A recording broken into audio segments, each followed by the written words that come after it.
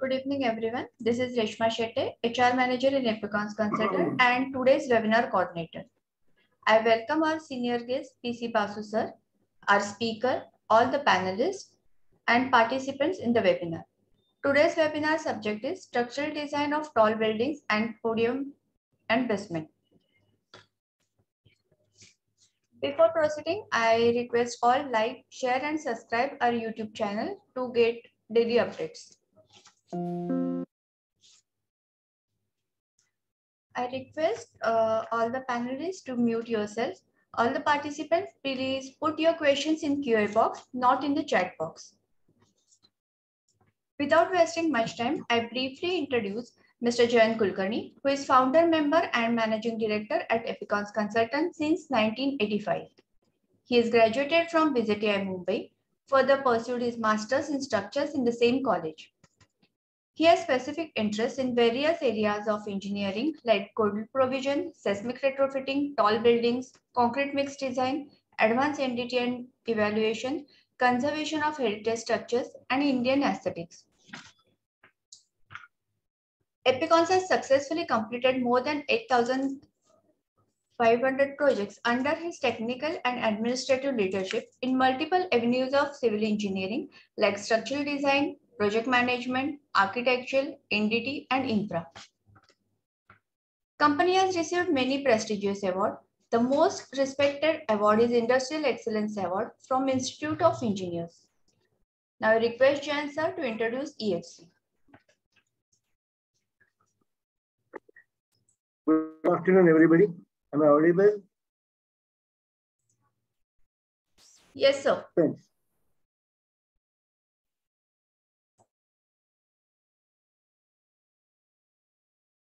Epicon Friends of Concrete.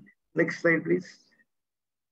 Epicon Friends of Concrete is in is an activity which is carried out under umbrella of Epicons Consultant Private Limited it is ISO 9001 2015 certified company. One of the objectives of the company is to impart technical knowledge to society and interested parties.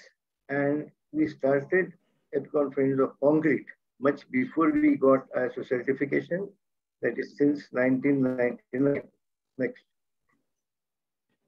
Our inspiration goes back to our friend philosopher and guru, late Remedios.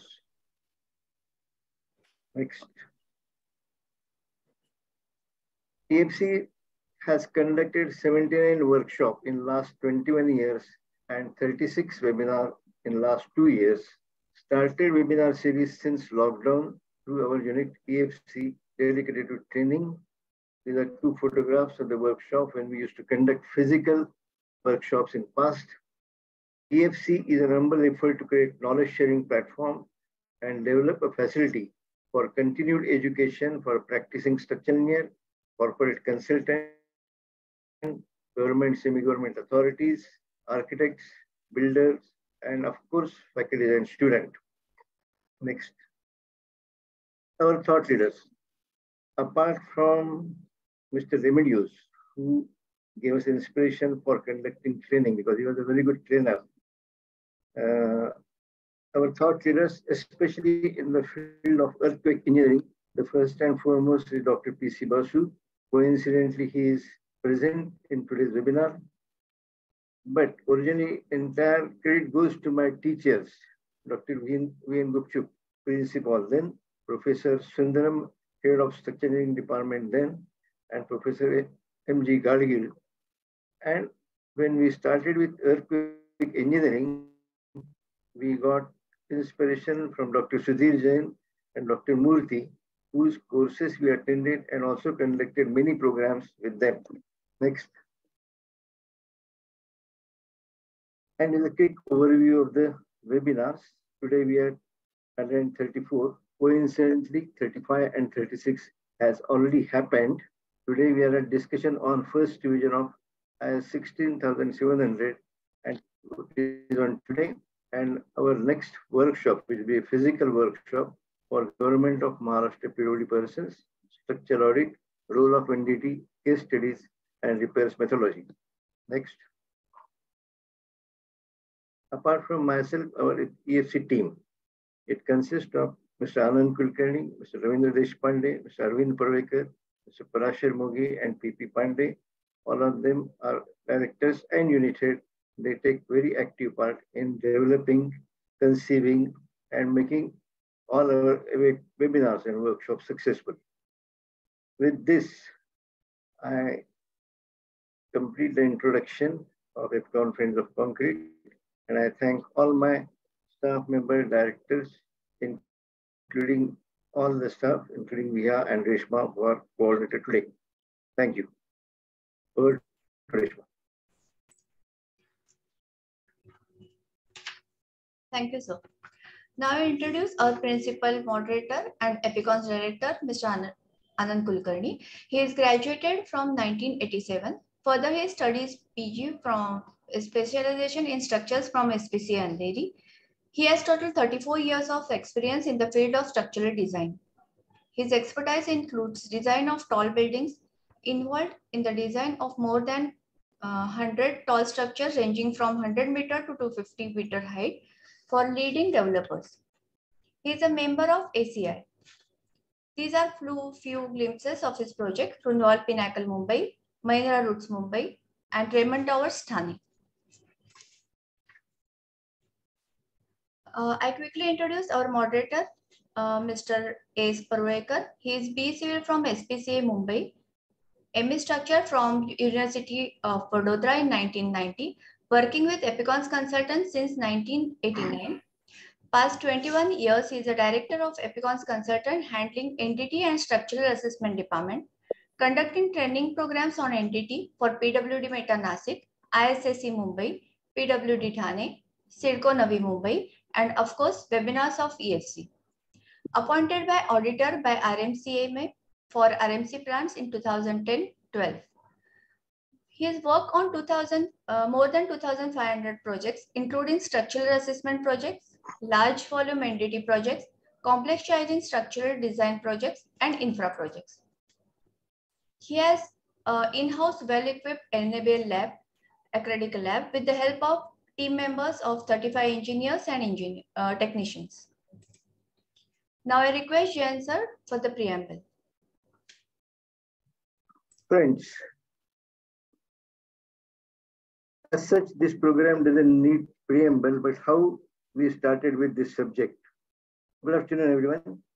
Draft India Standard Criteria for Structural Safety of Tall Concrete Building, first revision of 16,700, was widely circulated by BIS on 15 July 2022. BIS has requested to examine the draft and forward our views stating any difficulties which we are likely to experience in our business or profession. If and finally, it will be included in Indian standard. The last date of sending comments was 16 September 2022. Many senior practitioners and professionals have already sent their comment and suggestion individually, and many of the structural engineering associations conducted open discussion sessions and compiled the uh, various views and sent to them jointly. Now this is a parallel process. As many of us are consulting engineers, we are finding it difficult to implement the current version of code for some specific issues. Analysis of multiple towers on a single podium or basement is one of such issues. All of us know that structurally it is best recommended to separate such towers from podium by expansion joint. However, for various construction and serviceability related concerns, it is growing trend to avoid such expansion joint at the junction. This results in a challenge to structural engineers to model, analyze the correct behavior in a practical possible manner. And that is how we have conceived this subject for the webinar. This webinar is continued effort to understand the various difficulties faced by practicing consultant, especially with reference to 16,700. We have conducted about three different webinars on a similar subject. And this webinar is being conducted by none other than Professor Dr. Yogendra Singh. He is very knowledgeable expert and very popular trainer and professor. With this note, and please also note that we have 45 minutes question answer session after his lecture. Please do put your questions in chat box, but beyond that, or you have one more chance at the end of the lecture. With this, I complete my preamble. Hand over to Reshma. Thank you, Jayan sir. Now I'll introduce our speaker, Professor Dr. Yogendra Singh. Dr. Yogendra Singh is currently Railway Bridge Chair Professor of Earthquake Engineering at IIT Roorkee. He is B Civil Engineering from IIT Roorkee, MTech and PhD Structural Engineering from IIT Delhi in 90 and 1994. His research interest includes performance-based design of buildings and bridges, seismic vulnerability and risk evaluation, nonlinear modeling and analysis, and seismic evaluation and retrofitting of structures. He is about 25 years of research and teaching experience. He has published 65 research articles in various journals and presented more than 100 papers in national and international conferences. He is member of several expert teams for post-earthquake damage survey. He is convener of BIS expert group on performance-based seismic design of structures. He collaborated with Nor Northern Norway, NGI Norway, NTU Singapore, Stanford University USA, University of Edinburgh UK, University of Windsor, Canada, University of California, US, and University of Porto, Portugal. I welcome Yogendra Singh sir and request him to start with the lecture. Thank you. Thank you, Reshma. So I will share my screen now.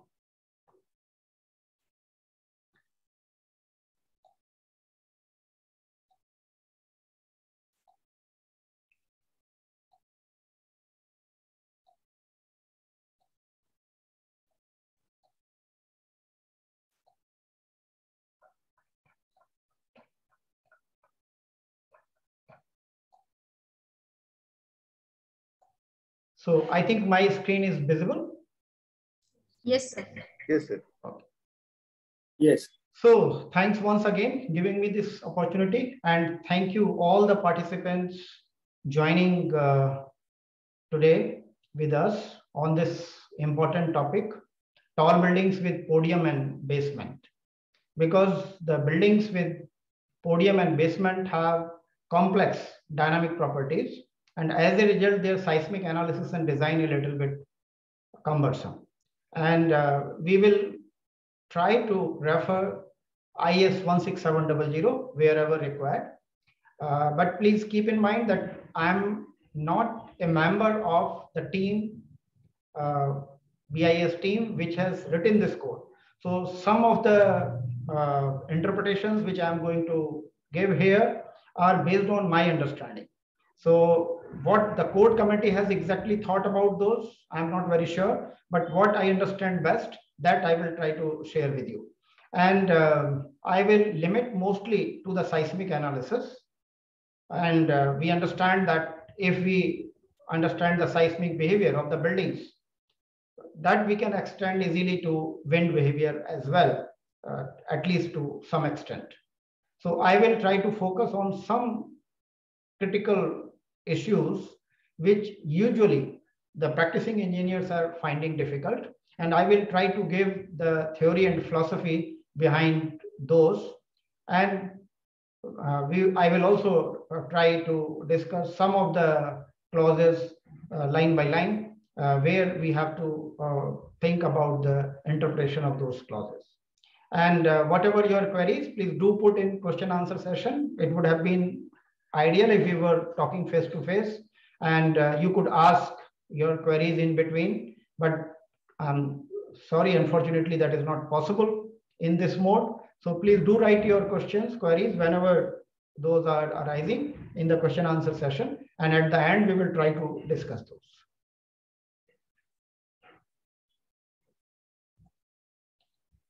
So any building, uh, whether it is tall or short, is subjected to two types of loads, vertical load and horizontal load. Vertical load is mainly arising due to gravity and horizontal load is arising due to wind and earthquake. So vertical load also we can consider, we can interpret as a as an acceleration equal to 1g, which is always acting vertically downward. And our dead load, live load, snow load, these are causing gravity load. Uh, those are in the vertical direction. The earthquake forces and wind forces are primarily in horizontal direction. Earthquake and wind, as you know, has a vertical component as well, but the primary component is horizontal. And uh, as a result, we require a horizontal framing system to resist the vertical load. So vertical load is registered by horizontal framing system primarily, or I should say that the design of the horizontal framing, that is slab and beams, is governed by the vertical load, whereas the design of the vertical framing system consisting of frame, shear walls, masonry infills, etc., that is governed by horizontal force. So different lateral load resisting systems, which we are using world over, are frames, which we all uh, commonly use. Frame truss or brace frame, where a diagonal member is, in case of steel structures, this is possible that we can provide a diagonal uh, member. Uh, and that diagonal member brace makes the frame to behave like a truss. And as a result, stiffness and strength both get enhanced. But the ductility gets compromised and we have to take care of that. And there is a form we will discuss here also, uh, eccentric brace frame, where we can achieve ductility also keeping uh, the advantage of uh, stiffness and strength. Then in case of uh, RCC buildings, we have shear walls and these shear walls are nothing but uh, elongated columns. One dimension is much larger as compared to the other. And as a result, the moment of inertia in that direction becomes quite high. And this can resist large lateral loads. And we can use shear walls along with frames. So what is what we call dual system or frame shear wall system and coupled shear walls. Coupled shear wall is a combination of frame and shear wall in such a way that it is having the stiffness and strength of shear wall. At the same time, through coupling beams, it is also having a frame action. And the combination of these two makes the system quite efficient. Then we have core and outrigger system. In uh, this system, the core is made of either RCC walls, shear walls, and then there is a horizontal element, rigid horizontal element, what we call outrigger. It is connecting the columns. I will show some of the photographs. And the advantage is that the force in the columns, axial force in the columns is mobilized through this outrigger. And I will explain in the successive uh, slides that as we mobilize more and more axial action, the stiffness and strength enhance.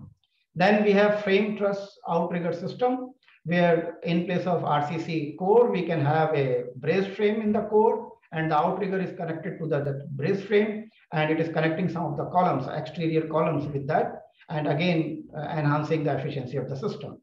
Then we can arrange the frames, especially the lateral load resisting frames, along the perimeter. And we get a system which is similar to a tube, a hollow tube, where the lateral load resisting material is uh, provided along the perimeter. And as we understand, a hollow tube made of the same material as a solid rod as compared to a solid rod is having much larger uh, moment of inertia. The frame tube has much higher efficiency than the frames, which are usually on the grid pattern. In tube in tube, we have an inner tube made of uh, shear wall usually, and the outer tube is made of frames.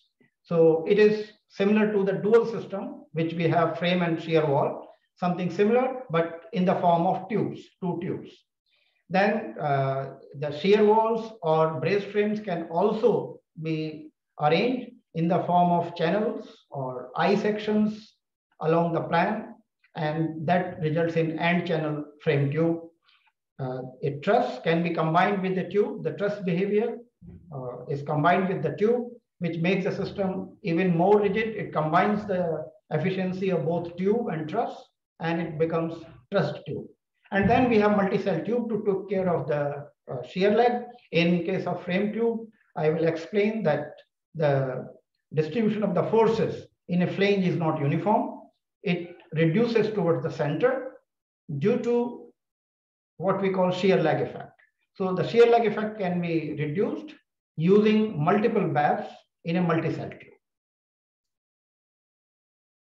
So first type of system which we understand and which we commonly use is the frame action. If we compare frame action uh, with a system having pinned, a portal having pinned joints.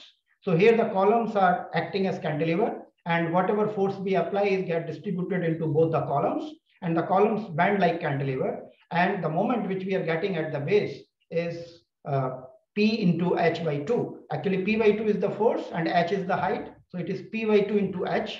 So that is PH by 2 acting in both the uh, columns. Now, if these pin joints, which we have between beams and columns, if we make those rigid, we call it moment resisting frame or rigid jointed frame. Now, depending on the stiffness of the beam, the behavior of the frame will change.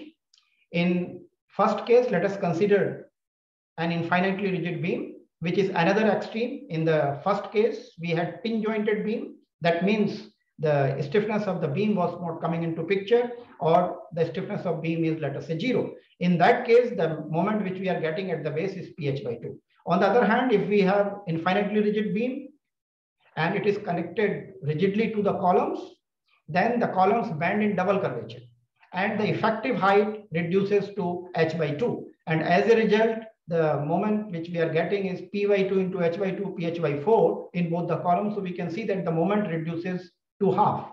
And the remaining, because equilibrium is to be satisfied, the remaining moment is taken care of by this overturning action arising due to the column forces. So the uh, uh, windward column is subjected to tension and the leeward column is subjected to compression. And due to that, an overturning action is developed that takes care of the rest of the moment. But in reality, our beams have finite stiffness and those are usually connected monolithically with the columns. So the reality is somewhere in between where the beam also deforms. And here we can understand that the moment which we are getting at the base of the columns is somewhere between pH by 2 and pH by 4. So we get in between. And similarly, these reactions will also be somewhere between 0 and pH by 12, which we get in case of uh, a rigid beam. What we take away from this example is that as we are able to mobilize axial action in our structural system, lateral load resisting system, its stiffness and strength will increase. But same is not true for the ductility. The ductility, when the in the presence of axial action, the ductility of the columns reduces. And we uh, take care of that by ensuring that the failure or yielding is occurring in the beams. So that's why we have a strong column weak beam system so that all the ductility is coming from the beams. Ductility of the columns, if we allow the columns to yield, then the ductility is going to reduce in presence of axial force. So that's the problem that when we mobilize axial action in our structural system, the strength and stiffness will increase, but the ductility will reduce and we have to uh, use some measure to achieve the desired uh, amount of ductility. We can extend this further to a brace frame where we provide a diagonal member. And here we can see that the columns and the diagonal member are resisting the whole force more or less through axial action. So here we see only axial action. And here this brace, this diagonal brace is subjected to compression. And irrespective of what slenderness ratio we are taking, when this brace is going to yield, it will buckle because after yielding the effective effective modulus of elasticity effective stiffness of this brace will become zero and as a result this will have zero buckling capacity post yielding so we get the post yield buckling the elastic buckling which we are familiar uh, all of us can be taken care of by using a squat member by reducing the slenderness ratio the LYR ratio but we can't avoid post yield or inelastic buckling, which will occur when the plastic hinge is forming and the tangent modulus becomes zero. So as a result of that buckling, the ductility in this case reduces significantly. So this fourth system, which is shown on the screen, is very efficient in terms of stiffness and strength, but it has very low ductility. So another system has been considered where we can combine the uh, stiffness, strength, and ductility. So here you can see these are the capacity curves, load displacement curve of these two systems. So in the first case, where we have a finite size beam with uh, columns stronger than the beam and the plastic hinges are forming in the beams, we can see that significant ductility is also obtained. But in case of uh, a braced frame, when the brace is subjected to tension, we will get ductility because steel is quite ductile in tension. So we will get uh, ductility when the brace is subjected to tension. So in one direction, we will get good ductility, but in the other direction, it will buckle. And as a result, we are not going to get uh, required ductility.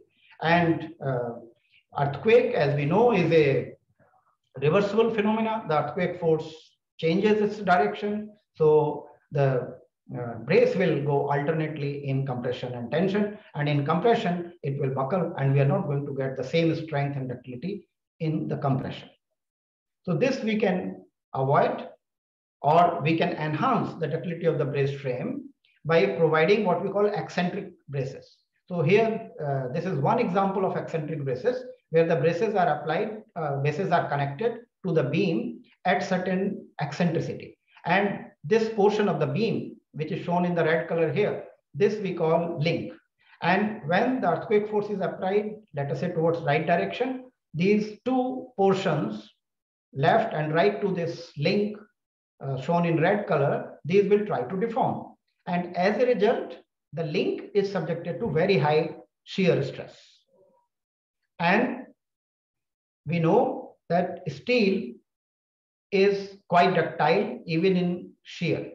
RCC is not ductile in shear because of concrete, but steel is quite ductile in shear. So in case of eccentrically braced frame, we design this link in such a way that it should yield before buckling of the compression um, uh, brace. Because these braces left side brace will be subjected to tension right side brace will be subjected to compression and it will have tendency to buckle if it is yielding. So we do not allow yielding of the brace in this case. Rather we ensure that the link yields before uh, yielding of the brace.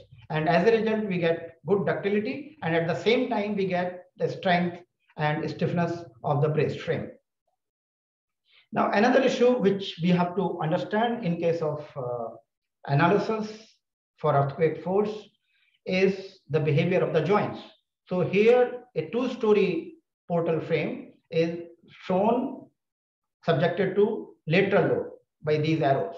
And then the shape of the bending moment diagram is shown. This is the shape when we have represented beams and columns by single line. But actually the beams and columns have some finite size. And as a result, we can see in a column, the bending moment, which is at the top face of the beam, it is, let us say, having tension on the left side. At the bottom face, it is having tension on the right side. So it is changing the direction. So the bending moment changes direction within the column from the uh, top of the beam to the bottom of the beam.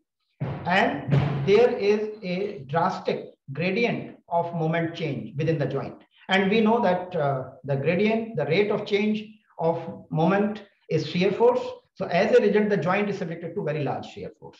And uh, our code, IS 13920, has special provisions for ensuring that the joints should not fail under this high shear. The joint should not fail before yielding of beams in flexion. So that is to be ensured. And we have to design our joints for capacity shear arising due to yielding of reinforcement in the beam under reversible earthquake force. Then we all understand, uh, commonly use uh, frame and shear wall. The difference between the frame and shear wall is that the frame consists of beams and columns. It is primarily deforming in a shear mode. So frame actually deforms in a shear mode. The base shear at the base is maximum and at the top, the story shear is close to zero. So as a result, the story sway is maximum at the base and it goes on reducing towards the top. So we get a deformed shape, which is having the maximum uh, rotation or maximum interstory drift at the base and the interstory drift goes on reducing. The shear wall, it is like a cantilever column and here the predominant deformation mode is flexure and in flexure we know that the moment is maximum at the base and as a result the curvature is maximum at the base but as the moment goes on reducing towards the top the curvature also goes on reducing and rotation we can get by integrating curvature. So we can see that as we go up, the rotation goes on increasing. The rotation is zero at the base. So although the curvature is maximum at the base, but because of the boundary condition, the rotation is zero. And when we integrate the curvature, we go on adding the curvature along the height, the rotation goes on increasing. The curvature at the top, which is given by the bending of the um, or the um, radius of bending of the shear wall. So that we can see is zero. So there, there is uh, hardly any curvature uh, at the top because the moment is zero. But what we see here that the shape of deformation of frame and shear wall is opposite to each other. So when we combine those, there will be an average deformed shape. It will depend upon the combination of the two. And uh, that there will be a, an interaction between the two, what we call frame shear wall interaction. And there will be transfer of forces from shear wall to frame and vice versa. So what happens at the base, the interstory drift in the frame is maximum, whereas in the shear wall, it is minimum. And as a result, at the base, the shear wall is supporting the frame. And at the top, the shear wall is pulling the frame because the frame is having lesser interstory drift and a shear wall has larger interstory drift. So as a result, the shear wall is uh, transferring its force to the frame near the top. So there is a significant transfer of load between frame and shear wall. And this transfer of force between different lateral load resisting frames, either shear walls or shear walls and frames, that takes place through the floor. And as a result, the role of the floor in lateral load becomes very important because our different components may not deform in the same shape. So uh, the distribution will take place from one element to the other and we have to take care of that distribution through design of the floor slab and at the same time the anchorage of the floor slab with lateral load resisting elements, uh, particularly shear walls. Now, one question is very relevant, uh, which is asked in industry, that when we can say that a column will behave as a shear wall. So at what um, aspect ratio of the cross section B by D, we can say that uh, uh, the, the column can uh, act like a shear wall, and then we will design and uh, detail that element as shear wall. So actually this question is not put in the correct uh, context. We cannot decide behavior of a column or a shear wall based on its aspect ratio. It doesn't depend on the aspect ratio. It depends on the overall behavior of that element in the structure, depending on how stiff and rigid the beams and columns connecting that element are. Based on that, we will get a bending moment diagram for the element. So in a column, what I'm showing on the screen, this is the typical bending moment diagram in columns of a frame. So we can see that there is point of counterflexure in each beam near the mid height of the column. Sorry, in each column near the mid height. So each column is subjected to point of counterflexure. The direction of the moment is changing from base to the top. So that is the characteristic bending moment uh, variation in a column. On the right hand side, this is the variation of the bending moment in beams. So the beams are also subjected to varying moment. The ch direction change is taking place and we are having a point of counterflexion. So in a frame, we will invariably have the point of counterflexure in the columns and beams. So if we are getting this point of counterflexure in our member, it is to be designed and detailed as a column. On the other hand, in case of a shear wall, like the one we see here. So this is the bending moment diagram in the shear wall. So what we see that the bending moment is changing suddenly wherever the beams are connected. So where the beams are connected, there will be a change in the bending moment diagram. But overall, it will be like that of a cantilever. So the behavior of the shear wall will be that similar to cantilever. So whether it will act as a shear wall or it will act as a column will depend upon the relative stiffness of the member with respect to the beams getting connected to it. So if it is having a bending moment diagram similar to that of a cantilever, we can design and detail it as a shear wall. And what is the difference? In case of shear wall, we are doing ductile detailing at the base because that's the potential plastic hinge. So the plastic hinge is forming at the base and we do all the confinement and ductile detailing at the base. On the other hand, in case of a column, the plastic hinge can occur at each joint, top and bottom of each column, where we are having the extreme moments. So plastic hinge is possible because of the point of counterflexure. The plastic hinge is possible at top as well as bottom. So that's why in case of columns, the ductile detailing is to be done at top and bottom in all the stories uh, in the column. Whereas in case of shear wall, we can take advantage of this bending moment diagram. And if we are taking the advantage in ductile detailing, we should ensure that the bending moment diagram is like this, that of a cantilever, not like a column, which is having um, uh, points of counterflexure in the middle. Then, as I said, that we can combine the action of shear wall and frame in a coupled shear wall. So coupled shear wall actually has openings arranged vertically and uh, our 16700 also has a clause. It says that wherever we are providing openings in the uh, shear walls, those openings should be arranged vertically in a line. And um, as a result, the shear wall will act like two shear walls connected with these deep beams, which we call coupling beams. So this coupled shear wall, I can consider as a perforated wall, or I can consider two shear walls interconnected by these coupling beams. And when these shear walls bend subjected to lateral load, these bend. Okay. So the neutral axis, which is shown earlier in the black color.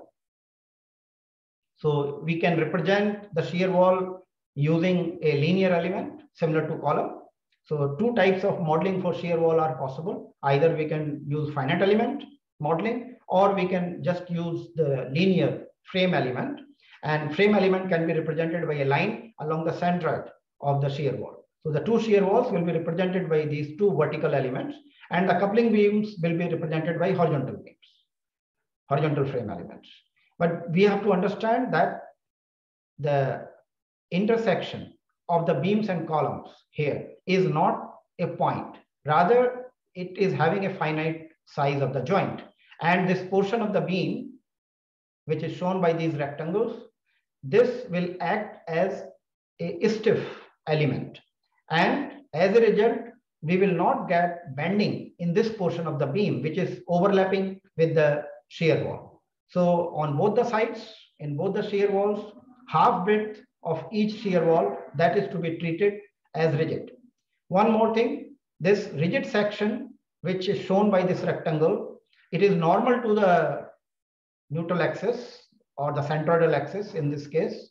When the shear wall is bending, this section will try to remain plane and normal to the uh, neutral axis. And as a result, we can see there will be large rotation taking place, especially near the top of the shear wall.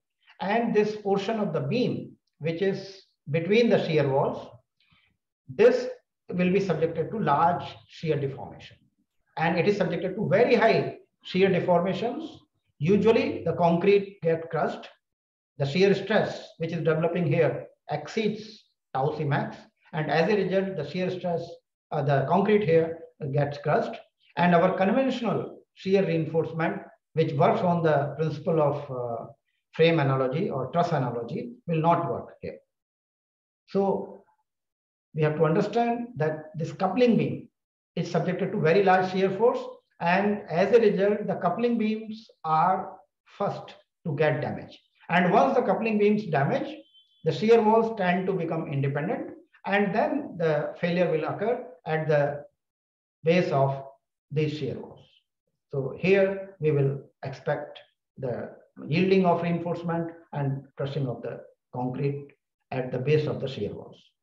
So the overall behavior of the system will depend not only on the shear walls, but to a lot of extent on the stiffness, strength, and ductility of these coupling beams. That's why design of coupling beams uh, should receive special attention when we are designing uh, coupled shear walls or the shear walls with openings arranged vertically like this. So we can uh, consider it like this. I have two shear walls, independent, separated from each other. Then the total moment of inertia will be two times T into B. B is the half width or width of one shear wall. So 2 into TB cubed by 12, that is 1 6 TB cube. Now, if I combine those, I make the total width as 2B. We understand that the um, moment of inertia will increase four times. So it will be 4 by 6 TB cube. Now our coupled shear walls are somewhere in between. Those are not connected together because to connect them together, I have to uh, make them integrated along this central line. So that I'm not doing, but I'm connecting those through these coupling beams. And as a result, these coupling beams are transferring shear force from one shear wall to the other shear wall. And the moment of inertia is somewhere, the effective moment of inertia is somewhere between these two extreme cases. In one case, the shear wall is totally separated. In other case, the shear wall is integrated together. So connection through these coupling beams will render the shear walls or the coupled shear wall somewhere in between. So this enhances the stiffness, strength, as well as ductility of the shear wall tremendously. But the coupling beams need a special design. So the bending moment diagram in the two shear walls will be something like this, although these are connected by coupling beams. So due to these coupling beams, there will be a sharp change at the level, at each story level where the coupling beams are connected. But still, the shape of the bending moment diagram in the shear walls will be that of uh, similar to a cantilever. And the potential location of the plastic hinge in the shear wall is at the base, not at the intermediate levels. Now, modeling of shear walls, we can do either using finite element or using wide column analogy or uh, what we discussed just now, the frame element. So a non-planar shear wall also, I can model as a frame element. So the right side is quite uh, intuitive in uh, using finite element method, I can model the shear walls of any shape. The problem with finite element modeling is that usually it provides us distribution of stresses and our design is based on design of a section for axial force, bending moment and shear force. So we have to integrate the shear forces, oh, sorry, in, integrate the stresses in the finite element model to get the axial force, bending moment, and shear force. Most of the software have that uh, facility already available where you can define a section or you can define piers and uh, spandrels and it will uh, integrate the uh, stresses along the cross section of piers and spandrels and you can get the stress resultants moments force axial force and shear force and you can design for that but care is to be taken if we are not uh, selecting the piers and spandrels correctly, then the design will be erroneous.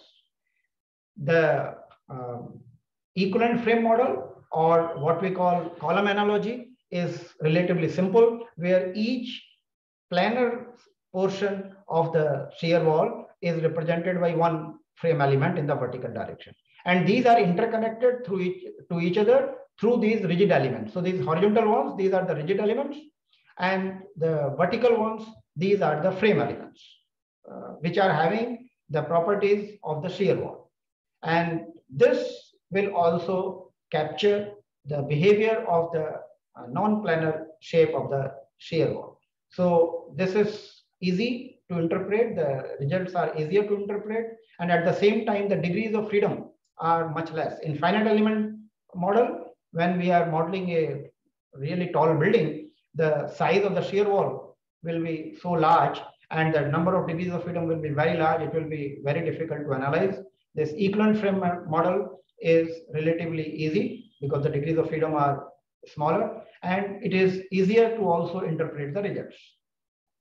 Here I have taken an example where even a uh, shear wall core can be modeled using uh, equivalent frame method or uh, what we call the frame or um, um, column analogy. So uh, what we have here, these vertical members, these are representing the three shear walls portions.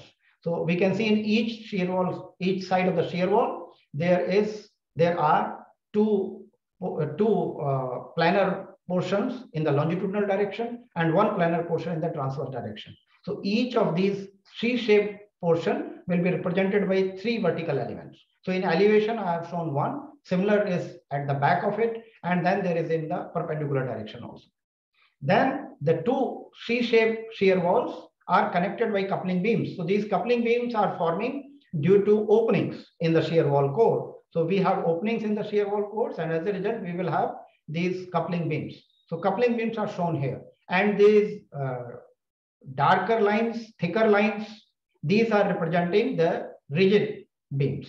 So rigid elements are connected to the shear walls or different portions of the shear walls and also to the coupling beams. So this way we can uh, develop a model of even a shear wall core using uh, frame analogy. And again, the advantage is that the interpretation, interpretation of the results for design is easier, is simpler, and uh, we require much less number of degrees of freedom. Then another issue which is at the moment not covered in our code is the capacity design of shear walls. We talk about capacity design of beams. We design uh, columns for capacity design. We protect the capacity design of the columns. We also do capacity design of joints. But similar capacity design is also needed for shear walls, which is currently missing in our code. And in capacity design, actually what we are doing is that we are preventing the undesired modes of failure. So we uh, provide hierarchy of strength in such a way that the capacity of undesired modes of failure is protected and the failure occurs in the desired mode. In case of a shear wall, the desired failure mode is flexural failure at the base. We don't want the flexural failure to occur at a middle story. The reason for that is that if flexural failure will occur in a middle story, for the same amount of curvature ductility or rotational ductility, we will get less displacement ductility and the energy dissipation will be less. So what we want, we want to limit the yielding to the base. And that we have to ensure that the uh, um, shear, uh, sorry, the moment capacity of the upper portion of the shear wall should be more than what demand it is going to have when the bottom portion of the shear wall is yielding. Then we also want to avoid the shear failure of the shear walls because shear failure in RCC is brittle. And we have to ensure that the shear wall is designed with adequate shear strength so that it does not fail in shear. So for this purpose, we design the shear wall for the analyzed uh, demand, which we are getting from our analysis. We design for that, but we understand that the moment capacity which we are providing will be invariably higher than what is coming from the um, analysis and from our limit state design. One of the reasons is that we usually provide more steel than required. But even if we are providing steel as per requirement, exactly as per requirement, we are using a factor of safety and we use characteristic strength. And due to that, the actually provided strength, the plastic strength which we are providing is higher than what we are uh, obtaining from the analysis. And the actual moment distribution or bending moment diagram when the bottom is yielding will be something like this, what is shown here curve. So this is what we have to consider in our design. So if we are providing additional capacity at the base, we have to keep in mind, we have to enhance the capacity of the shear wall in the upper portion also. Otherwise, it will have failure wherever the demand to capacity ratio is maximum. So shear wall is not going to yield at the location of maximum demand. Rather, it will yield.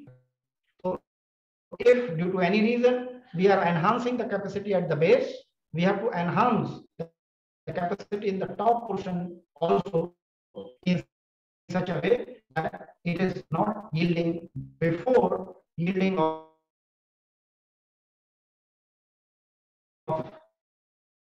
So what we are getting from analysis is this VUCS, but actually what we will get corresponding to this moment capacity of MPR, that is this BE.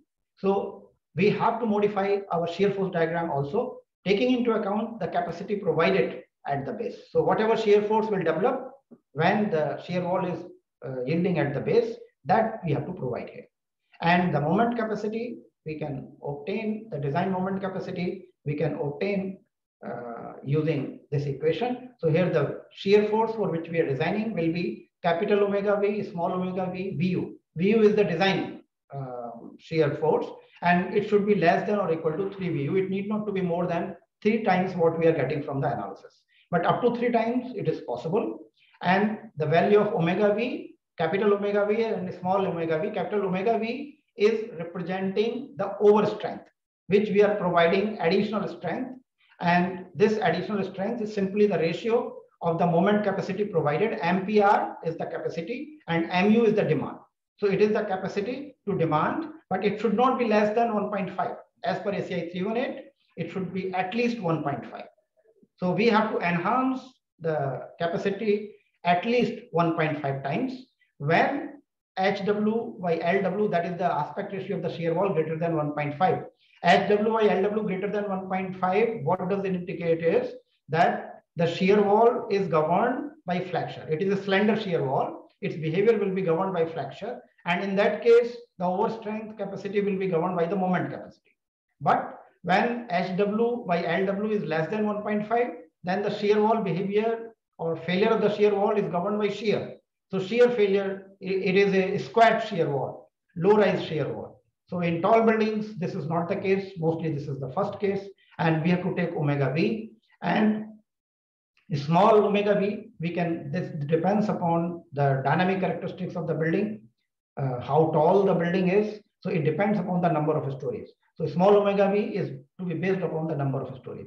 And once we calculate capital omega V and small omega V, we have to calculate this enhanced shear capacity VE. And we have to plot a shear force diagram, uh, which is similar to the original shear force diagram, but scaled by this ratio of VECS and VUCS.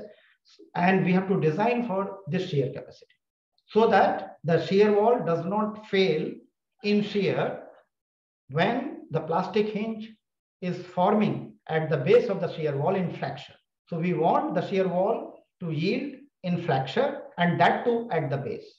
That can be ensured by this capacity design method. And currently this uh, guideline is missing in our code, IS 13920 as well as IS 16700. So I thought I should share with you.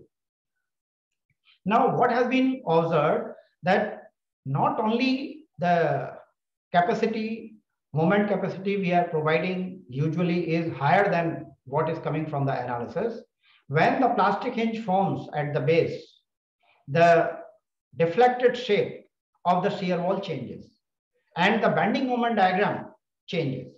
And it has been observed that the bending moment diagram in the bottom portion becomes constant. So what Moehle has suggested, and it has been suggested by other peoples also, uh, like Priestley, he has suggested that post yielding, when the yielding occurs at the base of the shear wall, its shape of bending moment diagram changes. And the what is given currently, even in ACI 318, that is also not safe enough. What is suggested is that we should extend the bending moment at the base up to a critical height. And beyond critical height, it will follow the same curve which was here, and it is amplified by this factor. So we can see that this mu dash, this was obtained from the envelope from ACI 318. That should be multiplied by this phi naught. And phi naught is the uh, ratio of the moment at the base. So this envelope, which is shown here, actually this should be used to design the uh, shear walls to avoid formation of the plastic hinges along the height to ensure that the plastic hinge forms at the base only. Then in shear walls, we use different types of foundation system and different combinations with uh, the basements. And there are some zones which are subjected to very high shear force. These uh, zones we call panel zone. It is similar to the panel zones which we are having in columns. When we are connecting steel columns uh, with beams, we get very high shear in the joint. Something similar happens here. Only thing is that here the size of this panel zone is much larger. It is uh, of the same width or same length as the shear wall. So this panel zone, as we can see here, this is subjected to very large shear force. The um, top slab, which we know as backstay at the top of the basement, it is subjected to large axial force and it is transferring that force to the shear wall or rather it is supporting the shear wall here and as a result the shape of the bending moment diagram in the shear wall changes suddenly. And as a result this portion of the shear wall is subjected to very large shear force. And this need special detailing. In this portion, we have to check the reinforcement for this high amount of the shear and that high amount of shear we can calculate using the tension and compressive uh, forces which are acting, uh, which are occurring at the two ends of the shear wall. And either we can provide this type of rectangular uh, pattern or we can have reinforcement as shown here using strut and tie method so that the panel zone has adequate shear strength. So this is another missing point in our code. Our code does not provide adequate uh, guidelines about designing this panel zone. So we have to take care of this also. Moehle in his book, uh, th this is relatively recent book uh, by Moehle on design of RCC buildings. And he has very nicely uh, covered this, including the method of calculation of the shear capacity and shear demand. Then another system, which is an improvement of shear wall, is this core and outrigger system. So we understand that if a shear wall is connected to the frame through the beams and slab, both will deform together. So they will have same shape. The shape will be somewhere in between the two, as we discussed that the frame has a different shape and the shear wall has a different shape and shear wall will act uh, will deform like a cantilever and its uh, center line will have a deformation like this. So let us assume that the center line is here but uh, the neutral axis is here. And uh, any section which is perpendicular to this neutral axis will remain perpendicular even after bending so it, it will occupy this position this orientation. And the beams here will deform. But somehow if I extend this rigid portion towards both the ends, we can understand that in that case, the columns will be subjected to very high axial force. And the axial action of the columns will be mobilized. So in the first case, the columns are primarily subjected to bending action. Whereas in the second case, the columns are subjected to very large axial force also. And as I explained, if we are able to mobilize the axial force in the columns or um, in any other member like brace, then the stiffness and strength or efficiency of this lateral load resisting system gets enhanced. But there is problem of ductility because when columns are subjected to high axial force, their ductility is compromised. So we have to take into account the ductility. So where our design is governed by, let us say, Bain, or interstory drift, where stiffness is crucial. Forces are not that big an issue, then we can easily go for this system where the response reduction factor will be compromised, that, that may be reduced, but at the same time, we are getting high stiffness. So different examples of this core and outrigger systems uh, have been used world over. Just a few I have shown here just to show the representative. So in the center, this gray color, that is our core. And outside perimeter, these are our columns. So idea is to mobilize or to attach the columns with the shear wall in such a way that when this shear wall core is bending, the column tries to follow the deformed shape of the um, shear wall. And this can be achieved by providing these deep horizontal beams. So generally these deep horizontal beams, these are also one story deep, and these are also uh, similar to the shear wall, the planar uh, elements. And these are connecting the shear wall to these columns. Different arrangements are possible. Here, steel connectors have been used. Steel collector elements are used where the columns are connected to the shear wall through these red color uh, steel members and these steel members will act like braces. And uh, as we discussed that the braces are quite stiff. So these will mobilize the axial force here. But as I said that the problem is ductility. So some efforts have been made where these uh, steel members, these diagonal steel members, these are allowed to yield. These are designed in such a way that these will fail during earthquake. And in that process, these will dissipate energy. Or we can have energy dissipating devices like dampers between connected between these outriggers and the columns. And when the relative movement between these outriggers and the columns will take place, the energy dissipation device will be activated and it will dissipate energy. So we have to keep in mind when we are adding stiffness and strength through these outriggers, the ductility is compromised, the energy dissipation in our structure is compromised, and we have to enhance that by making some alternative arrangement. Another system which is used for tall buildings, so usually buildings greater than 40 story have tubular system in some way or the other.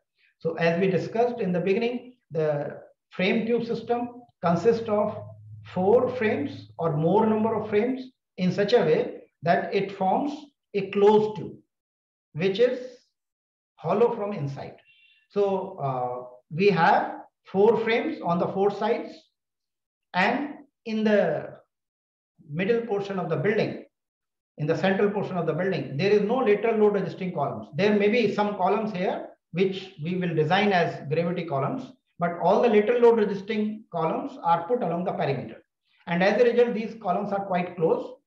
Uh, spacing, usual spacing is of the order of three meters. Similarly, the beams connecting these columns are also quite deep. Again, one meter. So typical size is something like one meter by one meter. So we can think it as a tube, a closed tube having perforations for windows. So within that three meter uh, bay width and story height, one meter by one meter is taken care of by the columns on each side. So space remaining between uh, the beams and columns is two meter by two meter, which can be utilized for windows. So we can treat this as a uh, tube made of RCC wall with perforations for windows, or we can consider it as a system consisting of beams and columns. Large columns interconnected by deep spandrel beams. And those columns are closely spaced so that the shear transfer between them can take place efficiently. Perfect. And there are some deformations in these beams. And as a result, there is some leakage of the axial force from one column to the other. For example, in this case, suppose we are applying a lateral force in this direction, then the frame which is along the lateral load direction, we call it web, and the frame perpendicular to it is called flange. And when the shear wall, oh, sorry, this uh, building is subjected to this loading, the flange will be subjected to uh, or in ideal condition, it should have been subjected to uniform axial force in the columns. Whereas in the web, it is uh, it should have had linear distribution with the column near the center having zero axial force and on the right side it will have tension uh, sorry compression and left side it should have tension but the real distribution of axial force is not like this it is something like this so where in the flange, where it was supposed to be uniform actually it is non-uniform and the central columns are subjected to less axial force as compared to the column axial force. Similarly, in the web, it should have been linear, but it is not linear. It is following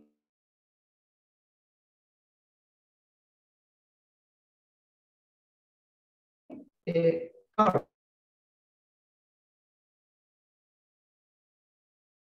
distribution in idea not valid here those or those plane sections distort those plane sections warp and as a result, we have this type of distribution in the bottom portion of the um, uh, frame tube. And this behavior we call shear lag. So uh, systems, even in case of steel section, when we are using for structural steel, when we have an I section or C section, the distribution of the stresses in the flange is not uniform due to this shear lag action. And same thing happens here. So the columns near the center are not fully utilized. And that's why it is suggested, including IS 16700, it is suggested size than the interior columns, because then we are going to get a better efficiency of the twin towers, which are no more the World Trade Center. So these are the classical examples, although it is in steel, but system can also be constructed. So many tall buildings, world's tallest buildings, have this uh, concept of frame tube in some way or other. Another extension of this frame tube is tube in tube system. So where we have outer tube made of um, frames and inner tube made of shear wall. So in a tall building, we have a large service core. So service core can be enclosed with shear wall. And as a result, we get inner core consisting of shear wall, whereas the outer tube is uh, made of frame. And it is something similar to frame shear wall dual system. Similar type of interaction also take place. And at the same time, that uh, shear lag effect results in reduction in the efficiency of the tube. Another possibility, especially in case of steel frame tubes, is combining the truss section. So this is something called a mega truss. It is different than the brace frame. So here several stories of the frame tube are connected with a mega brace, large size brace, so that the whole system acts like a vertical truss. And it combines the efficiency of frame tube and the truss, and we can achieve further heights. Especially in case of taller buildings, the problem is satisfaction of interstory drift. So drift becomes the governing criteria. And to satisfy the drift criteria, these systems are uh, quite useful. We can also achieve the similar type of behavior in shear walls by providing these RCC panels in such a way to have a similar pattern, but it is more common in case of steel uh, frame tubes where the diagonal members can be easily provided. Then to reduce the shear lag effect, we can have multiple webs as the number of webs is increasing because at the web location, the columns will be subjected to the maximum force. The columns will be utilized fully. Whereas away from the webs, the columns will not be utilized fully. The axial force will reduce. So the efficiency of the system will automatically increase if we, we increase the number of webs. So here we are providing more number of webs resulting in multiple tubes bundled together. That's why it is called multi-cell tube or bundled tube also. Just to check, I hope uh, everything is okay. Uh, my signal is connected, my network is connected, and you are able to hear me. Yes, yes, everything is fine. Okay, thank you. Now, um, in literature, some optimal height of these different structural systems is uh, given. So depending on the height, we should choose a system which is most optimum in that range. Theoretically, I can go any height with frame also. Only thing is that the size of the beams and columns will go on increasing and it may not be very efficient system. But uh, some of you may be knowing that Taipei 101, one of the tallest buildings before Burj Khalifa, that, that was the tallest building. Or maybe uh, before that, there was another, that Petronas Towers. So it is one of the tallest buildings of the world. It is having so-called mega frame system. So it is made from frame. So theoretically, it is possible to go any height with any system. But the efficiency of the system will go on reducing as we go on increasing the height because the frames are not having that much stiffness as the brace frame or shear walls. So here the structural systems in steel are compared. So first one is the semi-rigid frame. Then we have rigid frame, which can go up to, let us say, 30 story. Then we have uh, frames with uh, shear truss or what we call brace frames. And you can see here eccentrically braced frames have been used because we also want the ductility to be available. This is uh, uh, that uh, uh, braced frame with outrigger, so core and outrigger system. So these horizontal trusses, these are acting as outrigger and the central uh, brace system that is acting like a core. Then here in C-type system, we have placed most of the lateral load resisting columns along this C shape or this in this I shape. And we understand as we put more and more uh, lateral load resisting material away from the center of the building, the efficiency increases because the effective moment of inertia increases. Then we have here the frame tube system. In frame tube system, we have closely spaced frames along the perimeter. Inside the building, we have only a few columns those two to take care of the gravity load. This is the multi-cell tube, and here we have the trussed tube.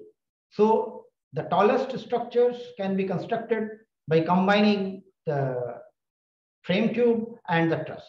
Similar uh, guidelines are also available in case of RCC buildings.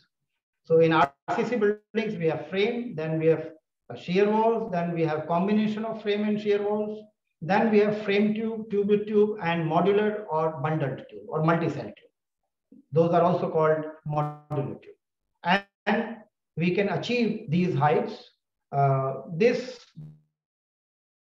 data is the RCC has been shown up to 80 stories, but more than 80 stories have been achieved in RCC now, in RCC also. So it is only a guideline for optimal selection of the structural system. As such, there is no theoretical limitation on which system cannot be used beyond a particular um, height. We can use any system up to any height. Only thing is that the design may not be optimum. We have to provide more material. Whereas in IS 16700, you are familiar, the upper limits for different structural systems have been provided. So all the tall buildings uh, and definition of the tall buildings, we know more than 50 meters are the tall buildings. So in case of uh, tall buildings in zone 3 and 2, we can provide frames, but zone 4 and 5, the frames are not permitted. Then we have well-distributed structural walls. So here it is talking about well-distributed structural walls, not the shear wall core.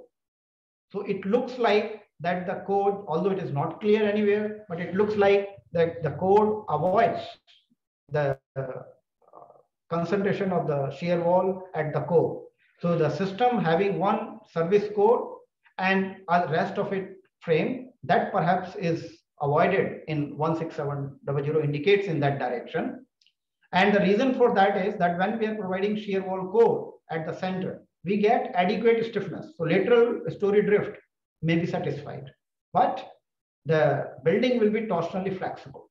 So the requirement of torsional mode being the third mode, not the first and second mode, that is indicator of building being torsionally flexible. That cannot be satisfied. And that's why the code has said that the shear wall should be distributed. That means the shear wall should be placed away from the center also, so that the torsional stiffness can be mobilized.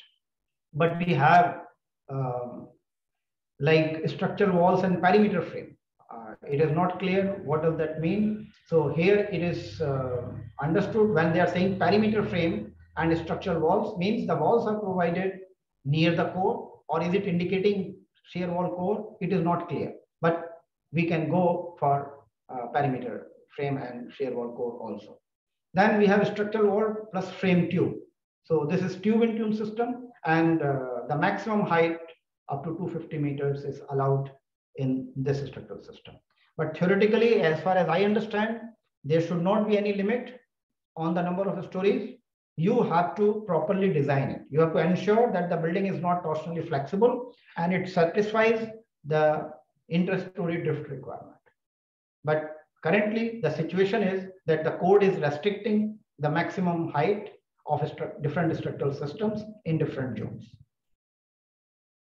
Then the slenderness ratio is also uh, controlled in the building, in the um, tall building code 16700. So the slenderness ratio, uh, as it is obvious in seismic zone and uh, zone 4 and 5, uh, the slender buildings are not allowed, whereas in case of zone 2 and 3, relatively slender values, uh, slender buildings, we can go. Now, the slenderness governs the behavior of the superstructure. That is one thing. Slenderness also governs the behavior of the foundations because if the uh, foot then the pile which we are using to support the building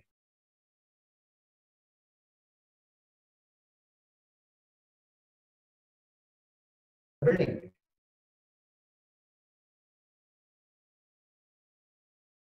Some of those may go in. Temporal modes of vibration has been a code that the first two modes should be translational modes, either in longitudinal or transverse direction. And the third mode only should be torsional mode. So torsional mode should not be first and second mode. And not only that, the torsional mode should be at least 10%, uh, the period in torsional mode should be at least 10% lower than the uh, shortest uh, torsional mode out of T1 and T2, whichever is shorter, it should be, it should not be more than 0.9 times of that. And another requirement in the code is that the T1, the most flexible mode should not have period greater than 8 seconds. It should be either less than or equal to 8 seconds. This is to ensure that the building is not very flexible in the transverse direction. So as the building becomes more and more flexible, we know that earthquake force will reduce, but the instability problems, P delta effects will increase and very flexible buildings are to be avoided, to be controlled. And the code has this limitation that the period should be less than eight seconds. Then another important issue, which is not dealt with clearly in our code or rather, which is not dealt with almost uh, at all, is the role of the uh, floor diaphragm. So generally our understanding and the practice in the our industry is that the floor is checked for vertical load. The slab is designed for vertical load. But in tall buildings, especially where large base shears are acting, the floor has another important role, and that is distributing earthquake force from the point of action to the point of resistance. So earthquake force acts because it is inertia force, it acts on each mass particle. So wherever there is mass, the earthquake force will be generated and it is registered by stiffer elements. So those stiffer elements are shear walls and the lateral load resisting frames. So we know in ACI 318 and now in our code also, there is a concept that some of the frames we declare as lateral load resisting frames and some other frames we design as the gravity frames. So lateral uh, load resisting frames will be much stiffer as compared to gravity frame. Gravity frame are relatively flexible, much flexible. so much flexible that those are not attracting significant lateral load because lateral force is distributed in proportion to the stiffness. So all the force is to be registered by these stiffer elements, either lateral load resisting frames or shear walls.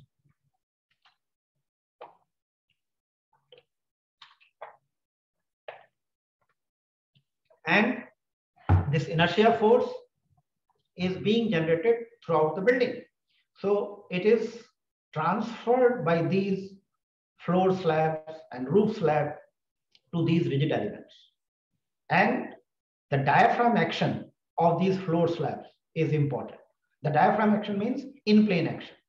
So these are not only subjected to outer plane forces due to gravity load, these are subjected to very high in plane forces, especially in case of tall buildings. So that behavior also needs to be considered. And this is particularly important in case of buildings with podiums and basement. So that's why I want to emphasize on this in our today's talk. So the force is being generated everywhere, but it is being transferred to the uh, lateral load resisting elements, shear walls or lateral load resisting uh, frames.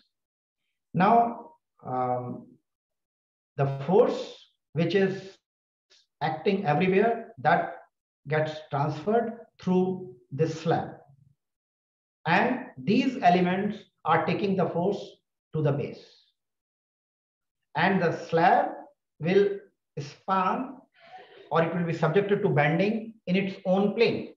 And this distribution is important not only for earthquake force, even in case of wind load, because wind load will act on the projected surface and it will be registered by the in-plane lateral load resisting elements like this. And the wind force is, has also to be uh, transferred or has to flow through this slab. So the diaphragm action of the slab is not only important in case of earthquake, it is also important for wind load. And even if the wind loads are governing, the diaphragm should be checked for the type of forces and stresses it will be subjected to. And especially look at this top of the uh, basement here. So from the building, the force gets transferred to the base of the building. And from here, it gets transferred to the retaining walls. Why? Because the retaining walls are much stiffer, even compared to the shear wall, which we are having in the tower portion. The stiffness of these retaining walls is much larger. Their length is much larger, height is smaller. So stiffness of these shear walls is much larger. Actually, these retaining walls are acting like fixed condition. So suddenly at this level, at the topmost floor of the basement, there is transfer of the lateral force from the shear wall or the uh, lateral load resisting frames to the retaining walls. And that takes place through the diaphragm action of this topmost floor. And behavior, in-plane behavior of this topmost floor becomes very important. And this floor we call backstay. And this transfer we call backstay effect. And this backstay effect has two concerns. One is that the bending moment diagram in our uh, shear wall is going to change drastically here because of this transfer of the force to other elements. So the shape of the bending moment diagram in our shear walls, we have to take into account. And the in-plane action of this slab becomes important.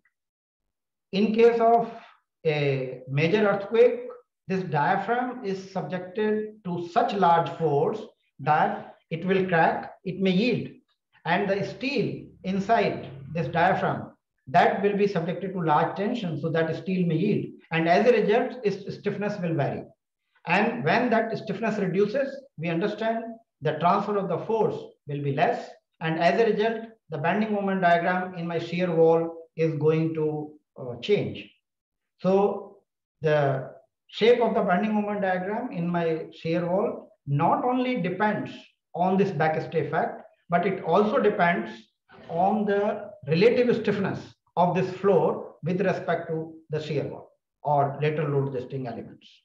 So that's why the code asks to perform a sensitivity analysis because the stiffness, first of all, it is uh, variable, it is, uh, it is uncertain, it is difficult to obtain the exact uh, estimation of the uh, stiffness of the slab.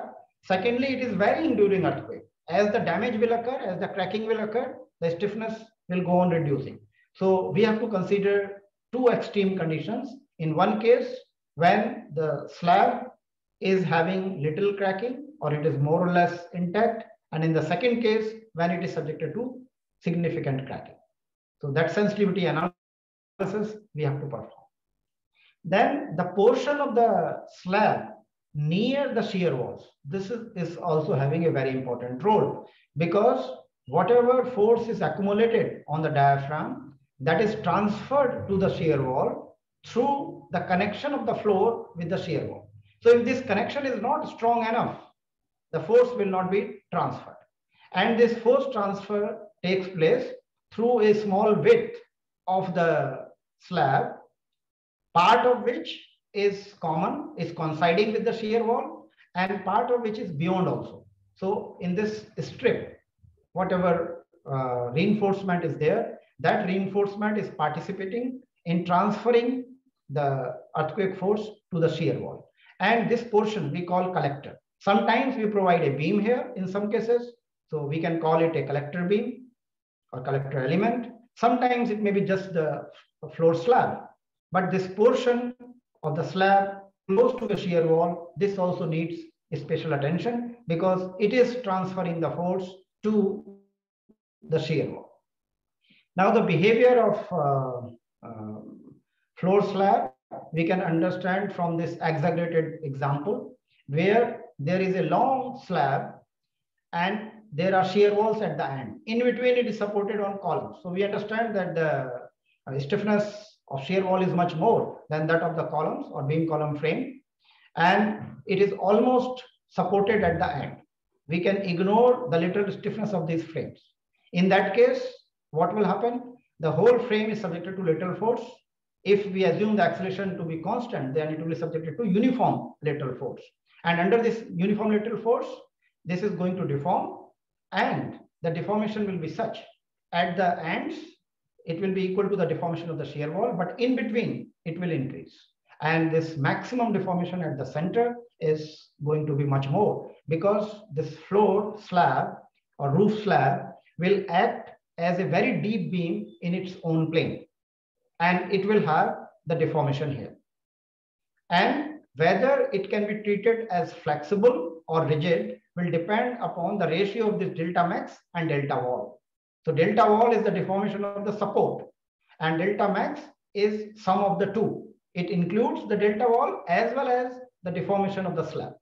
And uh, in all codes of the world, the rigid diaphragm is defined in terms of the limit on delta max by delta wall. Our code IS 1893 also defines this limit.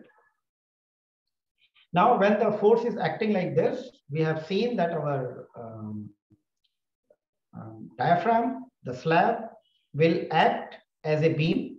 It will be subjected to compression at one side and tension on the other side. So for this, we should have continuous reinforcement provided at the two edges of this slab so that it can sustain that much bending moment which will be occurring.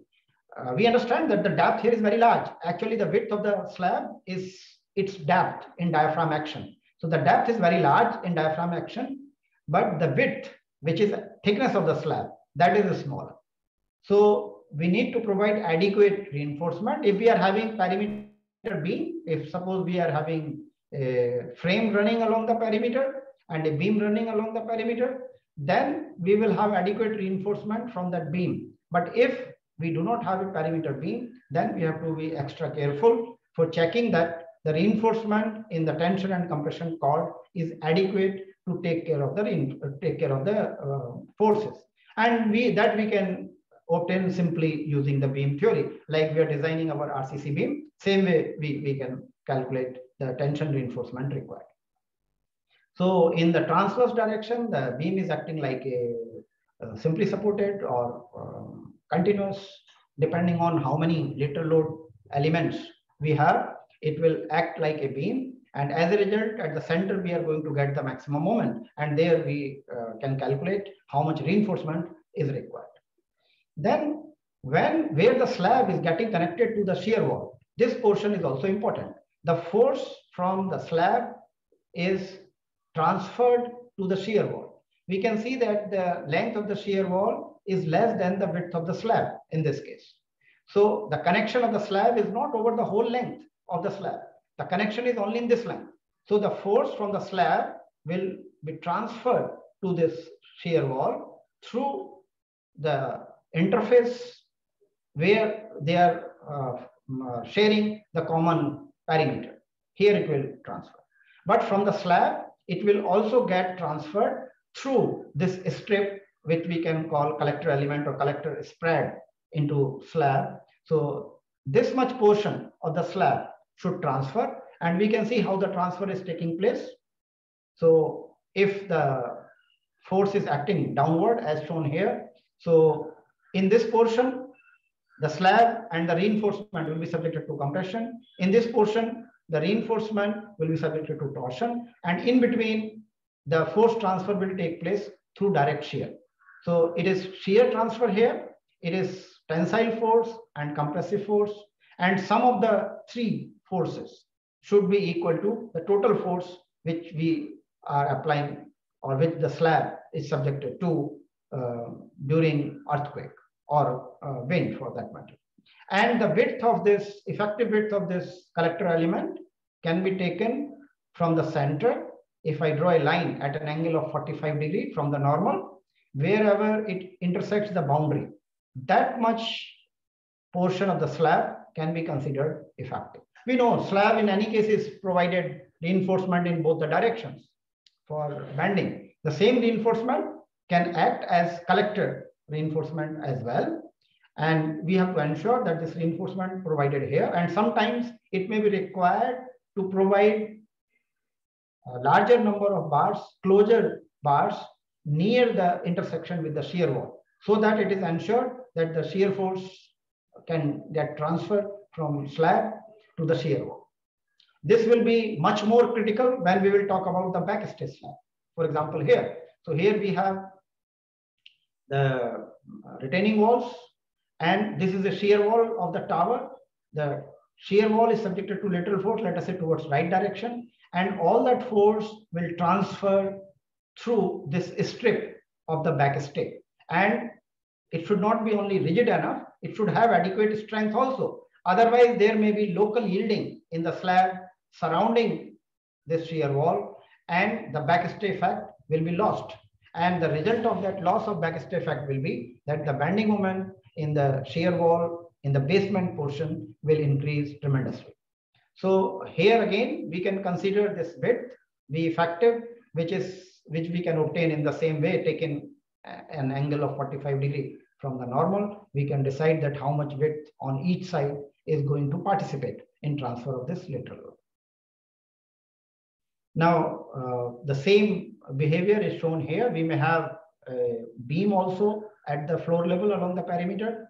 So the force from the slab will flow to the shear wall through this beam and also part of the slab near to the shear wall. So that portion we need to check for the adequacy of reinforcement. Now, how we can ensure this? Currently, our code tries to take this into account indirectly. So it says that it uh, governs the minimum stiffness of RCC in uh, the slabs. So it says that for um, any slab, precast or um, um, when we are using composite slab systems, the minimum RCC spread screed should be at least 75 mm in zone 4 and 5. And it depends on the zone because the force being transferred through the diaphragm will also depend on the zone. That's why in zone 3, 4, and 5, larger thickness is required, and in zone 2, relatively smaller thickness is allowed. Then the code avoids these uh, cutouts in the slab. So if the cutout is at the corner, it is not allowed. at, at our code. Because if we are having any lateral load resisting element along the boundary, the force transfer cannot take place. The force from the point of application to the lateral load resisting element cannot take place because here our slab is discontinuous. Openings, small openings are allowed, but those openings should not be near the boundary and those should be small and the size has to be less than 30% of the area of the diaphragm. So the diaphragm area, if it is 80, the diaphragm, uh, sorry, the area of the opening can be only 30% of that. And then there is also limit on its Uh, distance from the boundary. So this W1 and W2, this should be greater than 5 meter. W1 and W2 both should be greater than 2 meter.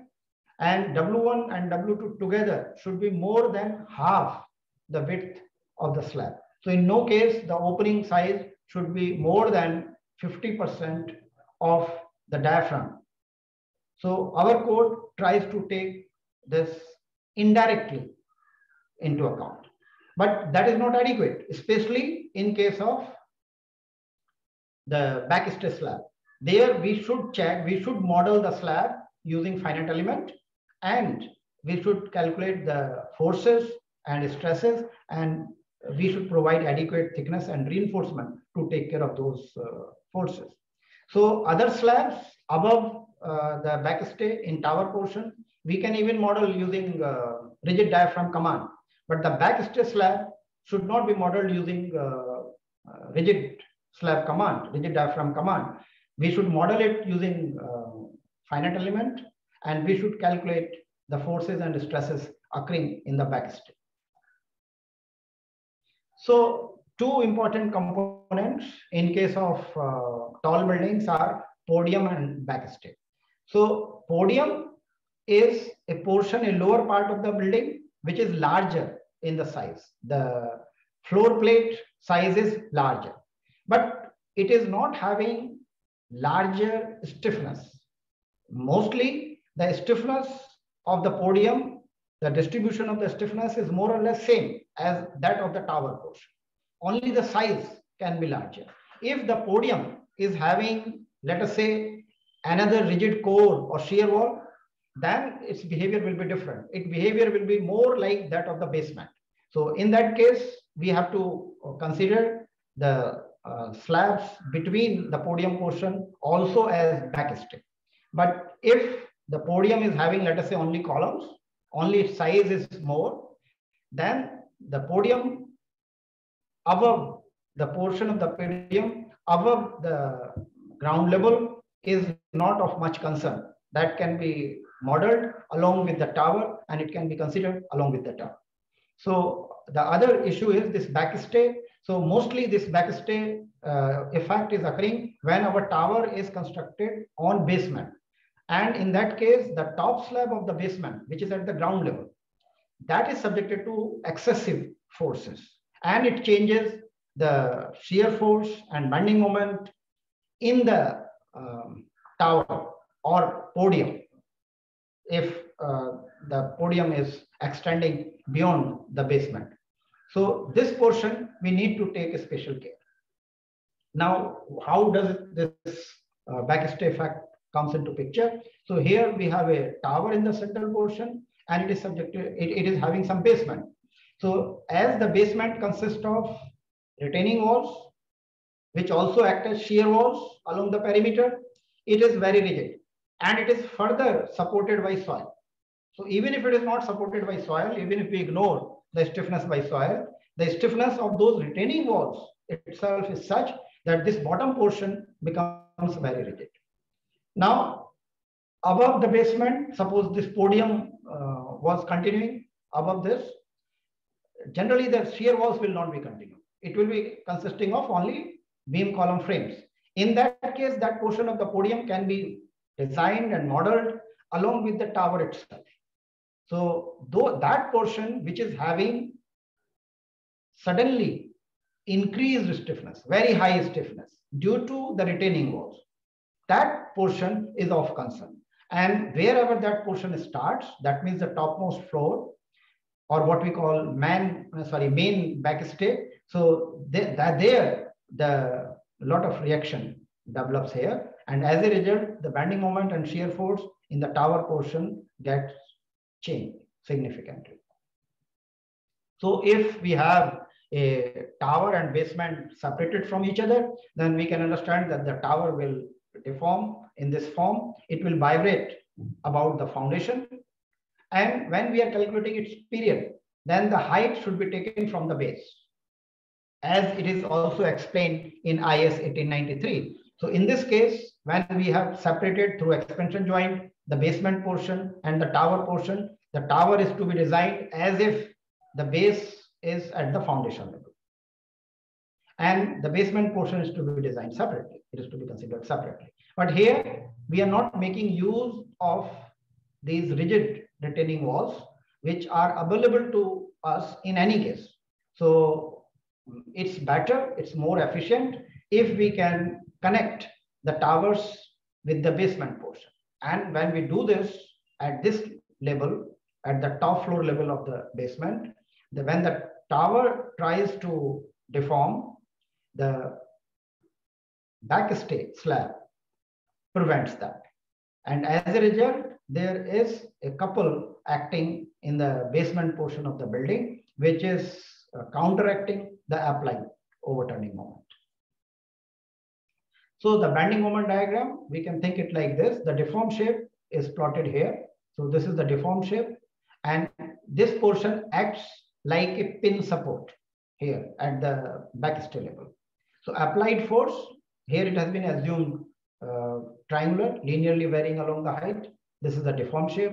Shear force diagram will be like this. At this location, there will be change in the direction of the shear force because very high shear force is acting here. And the shape of the bending moment diagram will be like this. And the maximum bending moment in the tower portion will occur at the backstay level, at the top of the basement. This behavior, real behavior can be simulated like this. The tower can be simulated from its base. And depending on the foundation we are providing, there will be a rotational restraint. We assume either pinned or fixed, but those are only the ideal condition. Neither it is pinned nor it is fixed, especially when we are talking about tall building. Actually, there will be um, some flexibility here, some rotation can occur here. And similarly, the backstay that is also not infinitely rigid, it will also have some stiffness. So the backstay along with the, the retaining walls, which act as shear walls, so that has its own stiffness. And both these stiffnesses are uncertain. We have difficulty in exactly estimating these because estimating the stiffness of the backstay along with the shear walls, retaining walls, and uh, soil is difficult.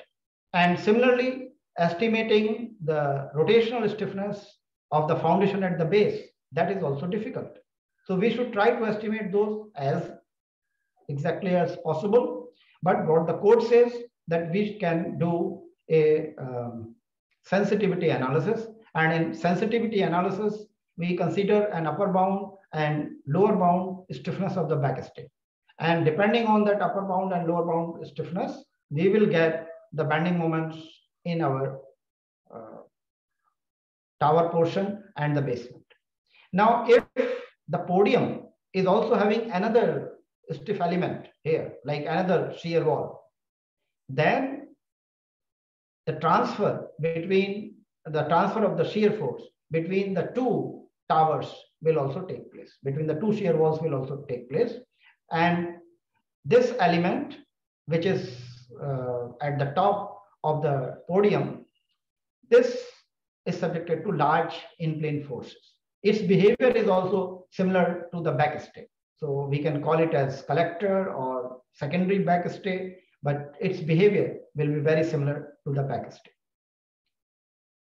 And in this case, we have to model this these floors of the podium also using finite elements. So we can model the floors above the podium top using uh, rigid diaphragm, but below that we have to model those floors using uh, um, using uh, finite element so that we get the effect of these.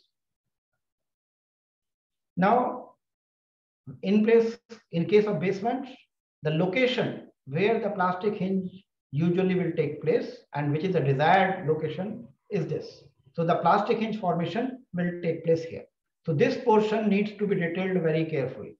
So in our shear wall within the tower, the plastic hinge will not take place at the base of the shear wall. Rather, it will take place just adjacent to the backstay. If it is a coupled shear wall, then in coupled shear wall also, the yielding in the shear wall will take place just above this backstay. Now, when we have to analyze tower and basement together, there is a problem. And the problem is that the basement portion is quite rigid. It has a lot of mass and at the same time it is very rigid. So when we do dynamic analysis of this using mode superposition, we see that the uh, modes which we obtain we are not getting contribution from the basement. It is very difficult to excite the basement. And most of the times it is very difficult to obtain 90% mass participation when we are making the full model of the structure. Because the bottom portion being rigid gets excited only in higher modes. So if I have to consider the 90% mass participation for the whole structure, I have to go the number of modes in terms of hundreds, 200 or 300 modes, depending on the size of the building are required. Then only I will be able to excite the full structure. Okay. Then another issue is that when I'm comparing it with the Codal method uh, for VB bar by VB correction, which height I should consider, whether I should take the full height or I should take the height above this. And when I'm taking height only above the basement, with which base shear I have to compare. That base shear should be at the ground level or the base shear should be at the base level. So we can understand it like this, that the same building we can analyze like this. The tower portion I can analyze assuming it to be fixed at the backstay level. At the top of the basement, I can analyze this. So this I'm analyzing, I can perform dynamic analysis, mode superposition using fixed base at the backstay level. And as a result, I will get the axial forces, bending moment, and shear force in all the elements at the base of the tower portion, that is at the backstay level. So these forces I can calculate from dynamic analysis and uh, the base shear in this portion, I will scale with what I'm getting from the code. So the scaling of the base shear is to be done for this. Then I can analyze the basement portion separately, subjected to these forces which I getting from the tower portion, and also the inertia force which is acting due to its own motion. So this is subjected to earthquake motion inside the ground. And as a result, this is also subjected to lateral forces.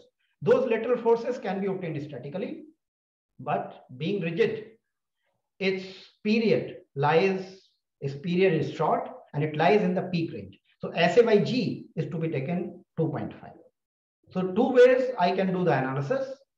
Either I can analyze the structure as a whole, but in that case, I have to ensure that I get sufficient number of modes so that I'm getting at least 90% mass participation.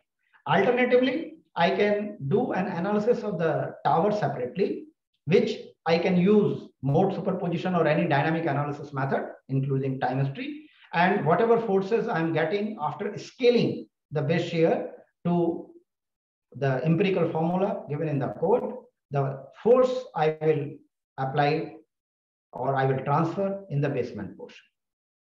So this analysis can be performed in two steps. Now, when I'm having multiple towers, for example, here in the same basement, then the problem is even more complex.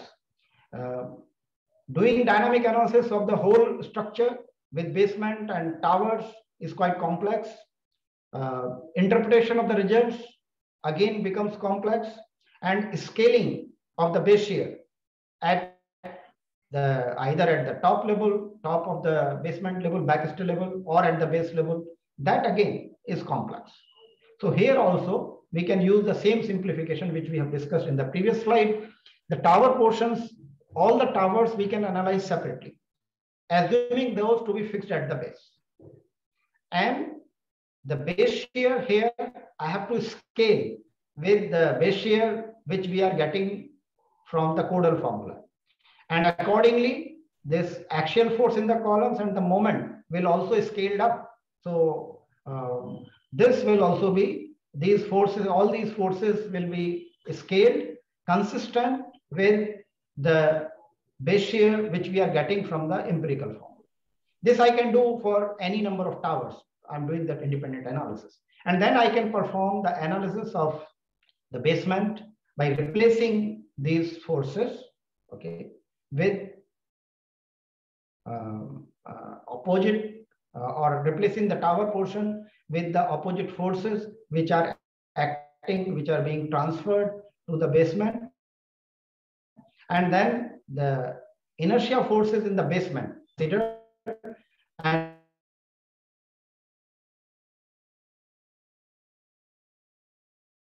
and equal to 2.5. So that's how we can consider any number of towers, but we phase. Those can vibrate together. Those can also vibrate away from each other. Those can also vibrate towards each other. So all the three possibilities we have to consider when both the vibrations are vibrating in phase, both the vibrations are vibrating out of phase towards each other or away from each other. So these three conditions I have to consider for analysis and design of the um, uh, backstay at the or the top floor of the uh, basement. So actually the lower floors of the basement, not only the top floor, top floor takes most of the load, but the lower floors of the basement also take some force. So all the floors of the basement, we should model using finite element model so that we are able to consider their stiffness. And for this stiffness, we have to perform two analyses using lower bound and upper bound um, stiffness. Now, the deformations which are occurring here, those you have to provide, you have to add to the forces, the, to the deformations which are occurring at the base of the tower.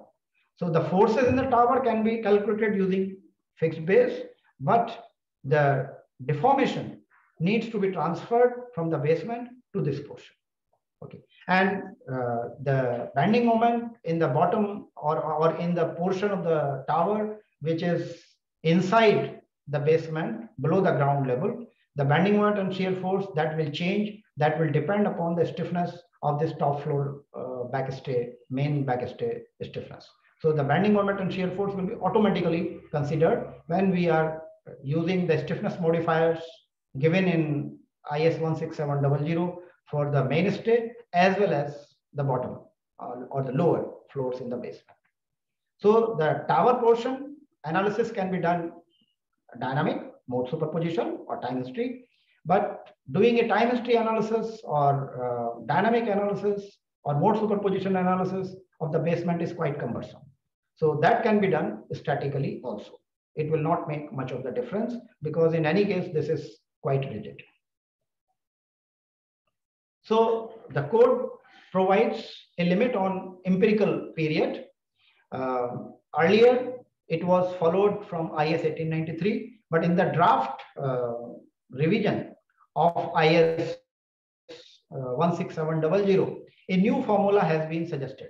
Um, in the beginning, uh, Mr. Kulkarni has introduced that um, there was a discussion in EFC also uh, regarding uh, the new draft code. So the major change is in this period formula. And this period formula, this has been taken from ACI. So actually ACI has given these limits. So the value of X is 0.9. So here also it is 0.9.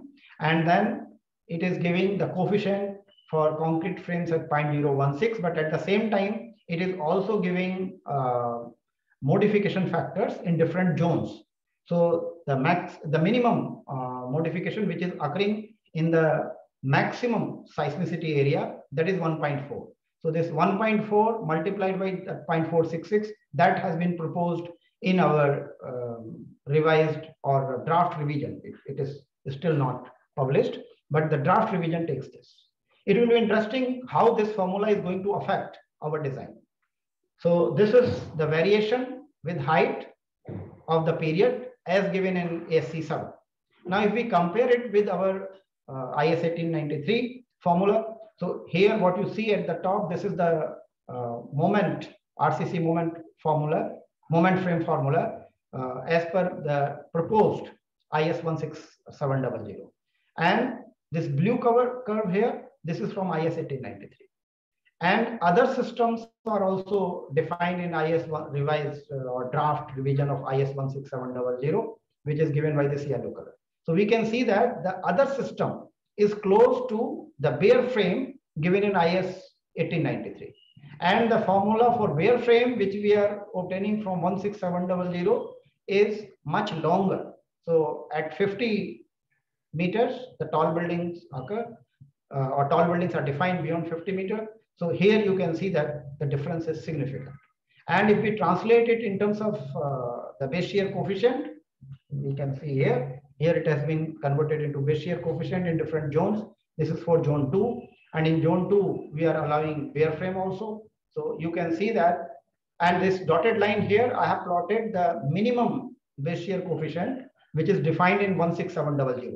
So we can see that at 50 story itself, the minimum base shear starts governing. And with this new formula, the uh, base shear, design base shear will be governed by minimum base shear only. Then in zone 3, also it is close to 50 story. Zone 4, we know in zone 4 and 5, the bare frame is not allowed.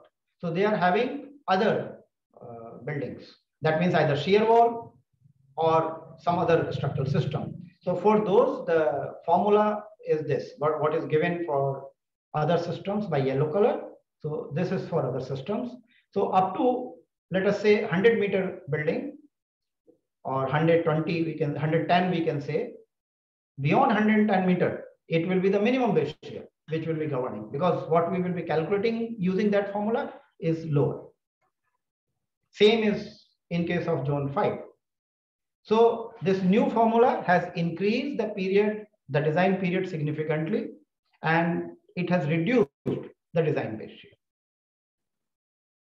So uh, it is not clear that how uh, or why this decision has been taken and why it is in discrepancy in IS 1893 versus 16700. What I understand is that soon there will be a proposal to change the period formula in IS 1893 also because the hazard code uh, is also being revised. The IS 1893 hazard part is also being revised. And it appears that the hazard which is going to be revised will be much higher. To compensate that, there is a preparation already going on to increase the period so that the design base shear can be reduced and there is not large impact on the design base shear. But uh, what will happen during this transition period, that is difficult to understand. So still I will recommend that till this hazard portion is not revised, please, and in any case, it is not yet published. Uh, the draft revision, this is only a proposal and it is not yet published. Hopefully they will publish along with uh, the revised hazard. Then the design base shear will be compensated. There will not be much effect on the final design base shear we are going to have. Then damping is another important parameter. And uh, uh, the damping also depends on the period of the structure and height. Period depends on the height of the building. So for tall buildings, 5% damping is not available. So PEER ATC 72, they have uh, done some measurement and plotted the damping which they have obtained in uh, different structure, different buildings with number of stories. And what is concluded is that this typically ranges from 2% to 4% up to 30 story buildings and 1 to 2% only in case of uh, buildings more than 30%. So we have to select the damping also carefully. That 5% damping is not available, is not applicable in case of tall buildings. Then I was talking about this minimum base shear uh, coefficient, which is defined in the code in different zones.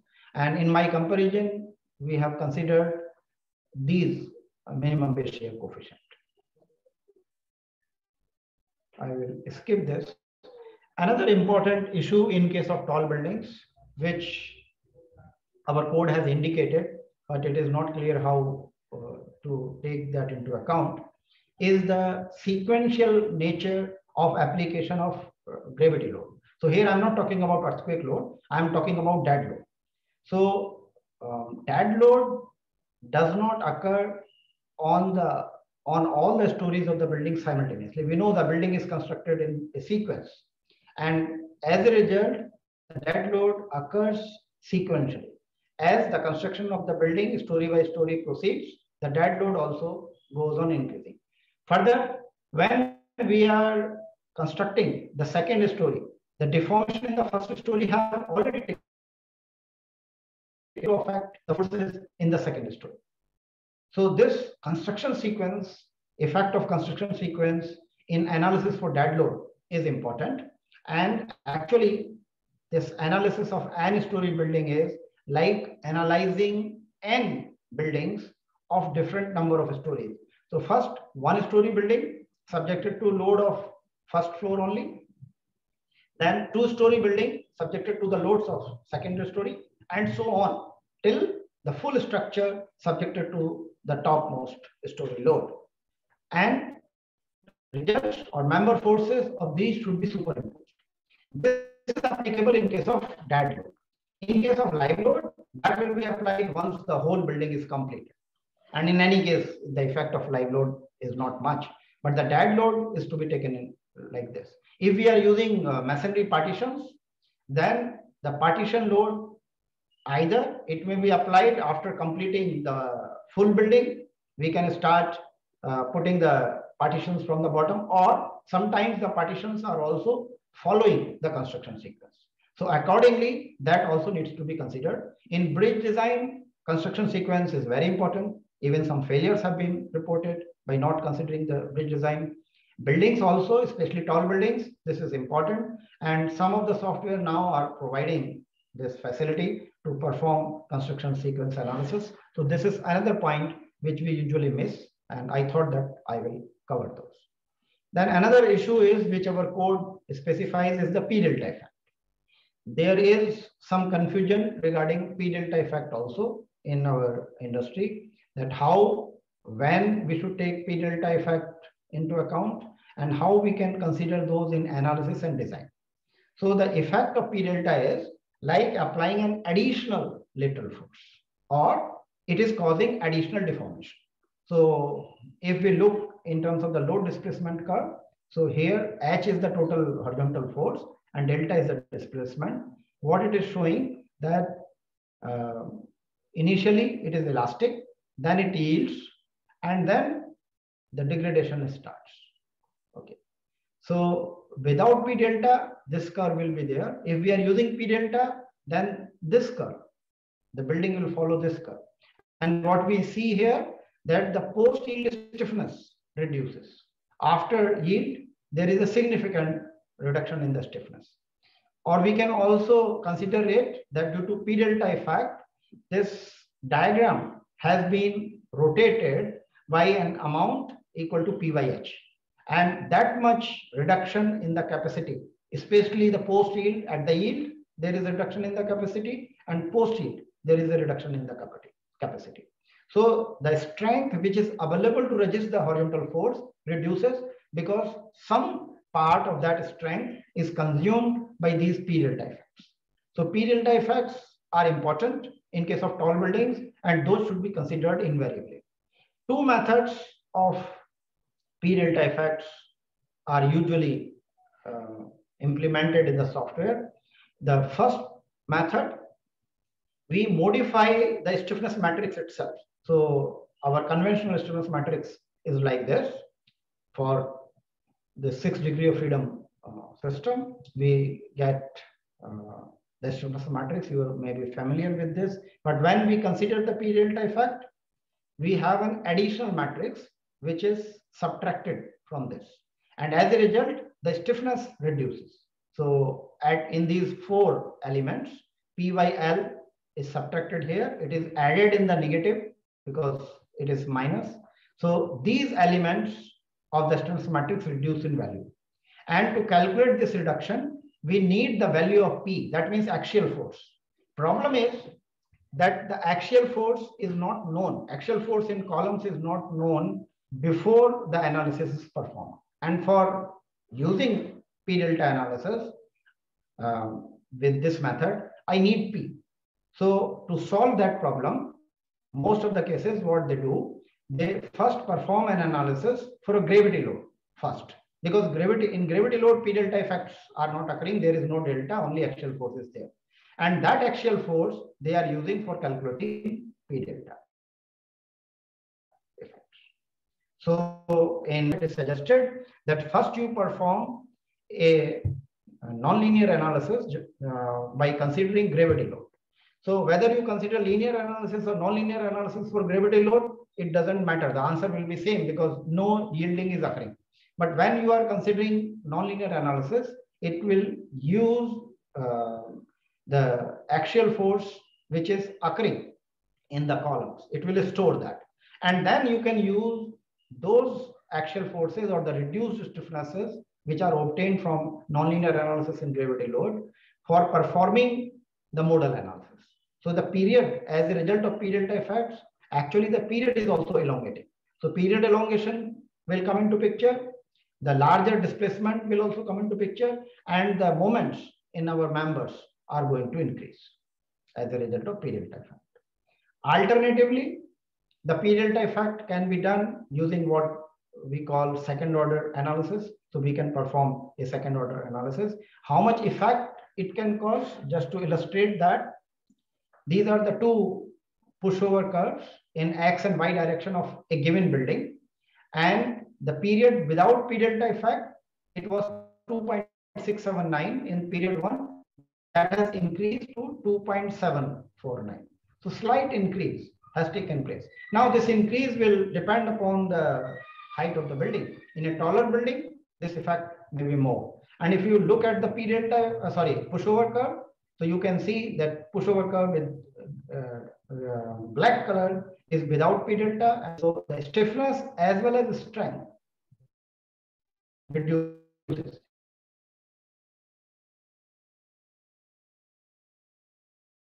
And there is very significant effect of P delta on the performance of the pushover of the building. Then sometimes we may like to use uh, time histories. We have to choose time histories. Now choosing time histories is also to do time history analysis. We have to choose. And when we are choosing time histories from any available database like PEER database, that is one of the source from where we can select the time histories, we need to provide the target response spectrum. And then two possibilities are there. Either we can use the recorded time histories as such by scaling them. So we in scaling, what we do, we multiply those by a uh, constant factor. So for example, here, the target response spectrum, which we have used in our design is given by this blue cover and the response spectrum of the ground motion, which I have selected is let us say like this. So first what we do, we take that uh, ground motion whose response spectrum or shape of the response spectrum is very close to my target response spectrum. It may not match, but the shape should be similar. Value may not match. So that's what we do, the zero period, t equal to zero, which we also call EPGA, effective peak ground acceleration. So we scale it at this value. And when I scale it at this value, we can say see that it is matching here, but it may not match at the other places in the responses, equal to zero, which we also call because I have multiplied this by a same uh, by constant uh, factor every uh, at every period. So if I'm multiplying the time history by a factor, it will never match identical or it will be never identical to my uh, target response spectrum. Some gap will be there. So there is an issue, which point I should use for scaling. One is this PGA. If I'm using PGA for matching, then the match time history may be above or below my uh, response spectrum. The other suggestion is that we match it at some other point such that at some places it is above, some places it is down, but overall it is close to my uh, target response spectrum. Another way of scaling is that we scale with respect to spectral acceleration at the fundamental period T1. So T1 is the period, the fundamental or the longest period of the building. We calculate the spectral acceleration of target response spectrum at same period. We calculate the spectral acceleration of the ground motion at the same period. And then we scale here. So as you can see in this right side figure, here it is matching exactly at this period T1. But then again, at other places, it is not matching. At some places, it is going above and some places it is going down. For linear analysis, if we are doing this, this spectral matching with respect to fundamental period, that is considered to be good enough. So here, first set, original set without any scaling is there. And when we do scaling with respect to the period, the period of the structure fundamental period of my building in this case is one second. So when we do scaling with respect to one second, at one second, all the response spectra of all the ground motions will coincide. But at other locations, there will be larger gap. So we can see there is significant difference at other periods. So in this method, we can match them only at one point. There is another method available in which I do not target any one point. I do not match my response spectrum at one point. Rather, I match those throughout a chosen range of the period such that the error or mismatch between that range is minimized. Then IS 16700 has a limit on lateral drift. It is uh, referring to um, IS 1893 and the maximum drift is 0.4. Now here we have to keep in mind that this 0.4%, 0.004, which is 0.4%, this is the interstory drift ratio at reduced load when it is divided, uh, when the analysis is performed using a response reduction factor, usually 5. So actually, it is not the true interstory drift which will occur during earthquake. This is under the reduced earthquake force. Whereas in other codes, Eurocode as well as uh, ASCE 7, the interstory drift limit is provided in terms of the total drift. And their drift is varying from 3 to 5 times of our drift, 0.4 times. So there it is between 1, 1.5 to 3%. So it is roughly uh, 3 to 5% of uh, 3 to 5 times. That is actually the value of response reduction factor. So uh, what is given there? So when we are comparing our drift requirement with other codes, we have to be careful that only in our code, it is provided for the reduced earthquake force. Whereas in other codes, it is for the elastic earthquake force or the full earthquake force. Now, in case of new or this draft IS 16700, revised 16700, a change has been done. And that change is that in place of this 0.4 uh, percent, they have specified a stability coefficient. And that stability coefficient is defined like this, theta pi delta i over vi hi minus 1 r and the limit is given as 0.2. So here pi is the total design vertical load at that level. Suppose I am uh, calculating in the ground story where chances of maximum interstory drift are there, then it will be the total seismic weight of the structure. That will be Pi. Then delta I is the drift in that story. And Vi is the shear force, story shear force. If we are, I'm considering the um, uh, ground story, then Vi will be base shear. And Hi minus 1 is the height of the story below. So in the bottom story, it, it will be equal to the height of the bottom story and divided by R. That should be less than 0.2. Apparently, this formula has an error. And I will explain that what is the error in this. This has been taken from ASCE 7-22 because ASCE 7-22 has two uh, criteria for interstory drift. One is a uh, criteria in terms of maximum interstory drift. In place of 0.4%, they have something like between 1.5 to 2% for different types of structures. And another one is this stability coefficient. So this stability coefficient is very similar to what we have here. Only thing is that in our case, they have added R. So here that R is not appearing. And if we do the substitution, I have done it, I have calculated it for zone 2, 3, 4, and 5 using this formula by putting the value of R is equal to 5. So we can get this in terms of uh, this VI by PI, we, we can take as the minimum uh, base shear because VI is the base shear, PI is the seismic weight. If we are calculating it for the ground story, then VI is the total seismic weight and PI is the base shear. So this becomes the, sorry, VI is the base shear and PI is the total seismic weight. So this becomes the design base shear coefficient and the minimum design base shear coefficient, what is given in the code. So if I take VI by PI even minimum, then delta I by HI becomes 0.0014 into R. So 0.14 percent into R. Zone 3, it is like this. Now, this R appears to be wrong. If I calculated for zone 5, then delta I by HI becomes 0.032 by R. So for example, here you can see in zone 5, if I use R is equal to 5, this will become 4.8 into 2. So roughly 2.5%, which is much larger than uh, suggested by any other code. So what this 0.48%, that appears to be okay. So it looks like that this R here has been used mistakenly to, um, because in our case, the VI by PI is already uh, reduced by the response reduction factor.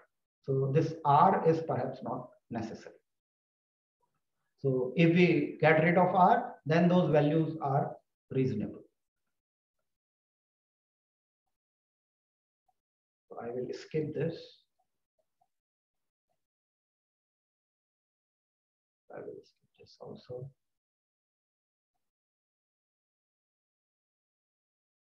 Okay, so um, it is very important that we consider the cracked section stiffnesses.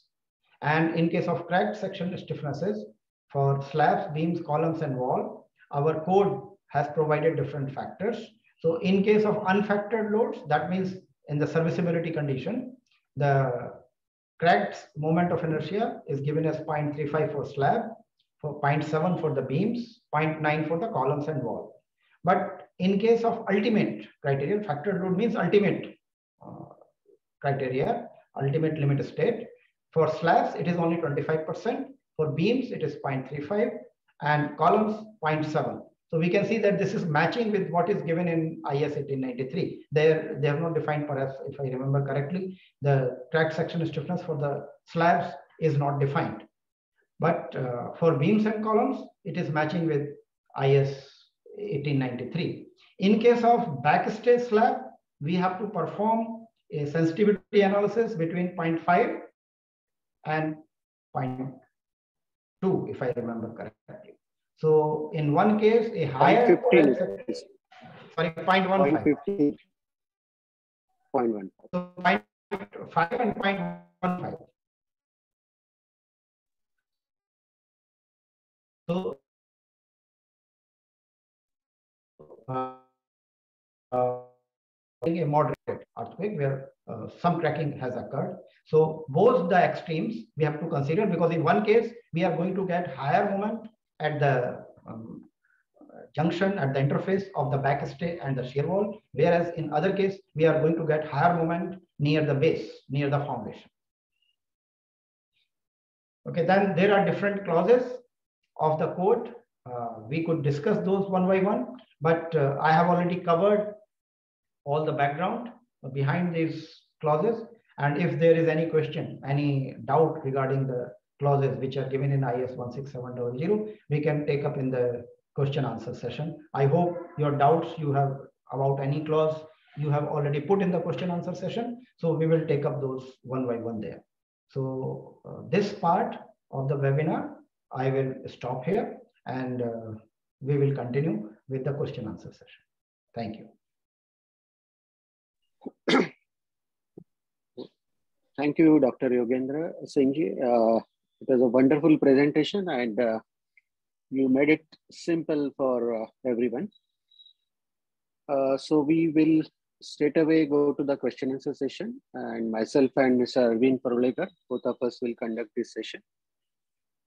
Anand, Anand, can I ask you whether you need five minute rest or whether we should start?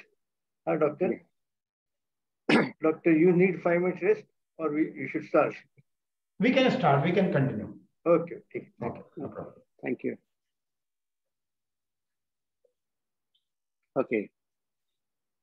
So I think both this are uh,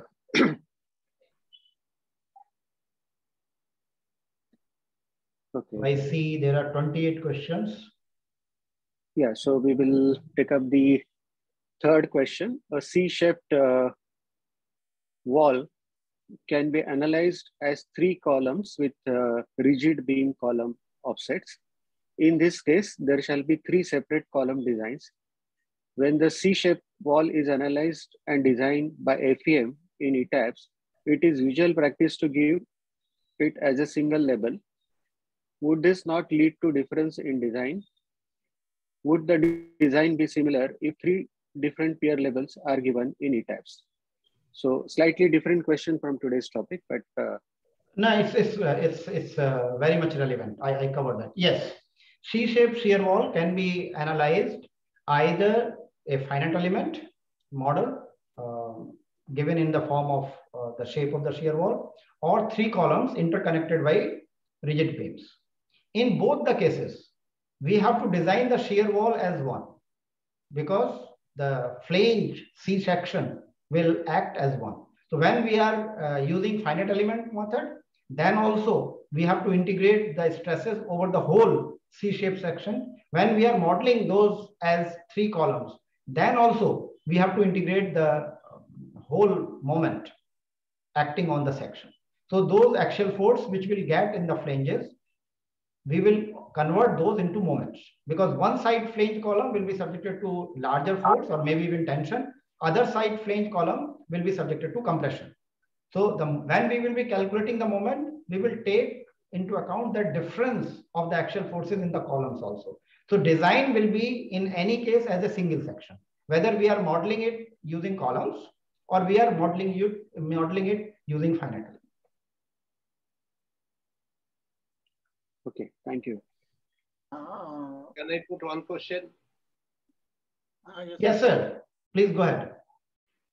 This methodology, what you have stated is very good as per code, but when a boy in the field is given to design, he ultimately produces a design which there should be some problem in the construction, and there, if there is problem is not there, there will be problem in other side. So how do you want to tackle this gap?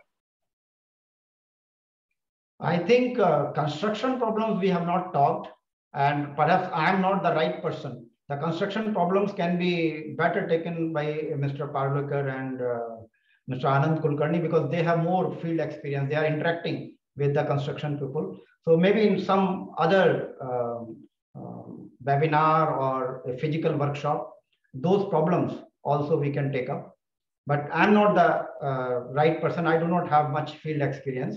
So for me, it is difficult to uh, talk okay, about. The design portion, you find some problem with the student to implement the design assumptions in the design. No, design will be done as per drawings. So in design, he will not do any any assumption. Assumptions we have to do in design itself. Yes, so when design. the designer will be designing, then they have to take into account how the construction will actually take place. So in some cases, the designer has to suggest the construction sequence also that uh, whatever construction sequence they have assumed in their design, same should be followed. In case of bridges, it is compulsory to suggest uh, the design, the construction sequence also by the designer. But perhaps in case of a tall building also, whether uh, the designer has considered uh, one story design at a time or multiple story design at a time, that needs to be communicated in the drawing and there is an interaction in advance with the uh, contractor and the designer and that issue is decided.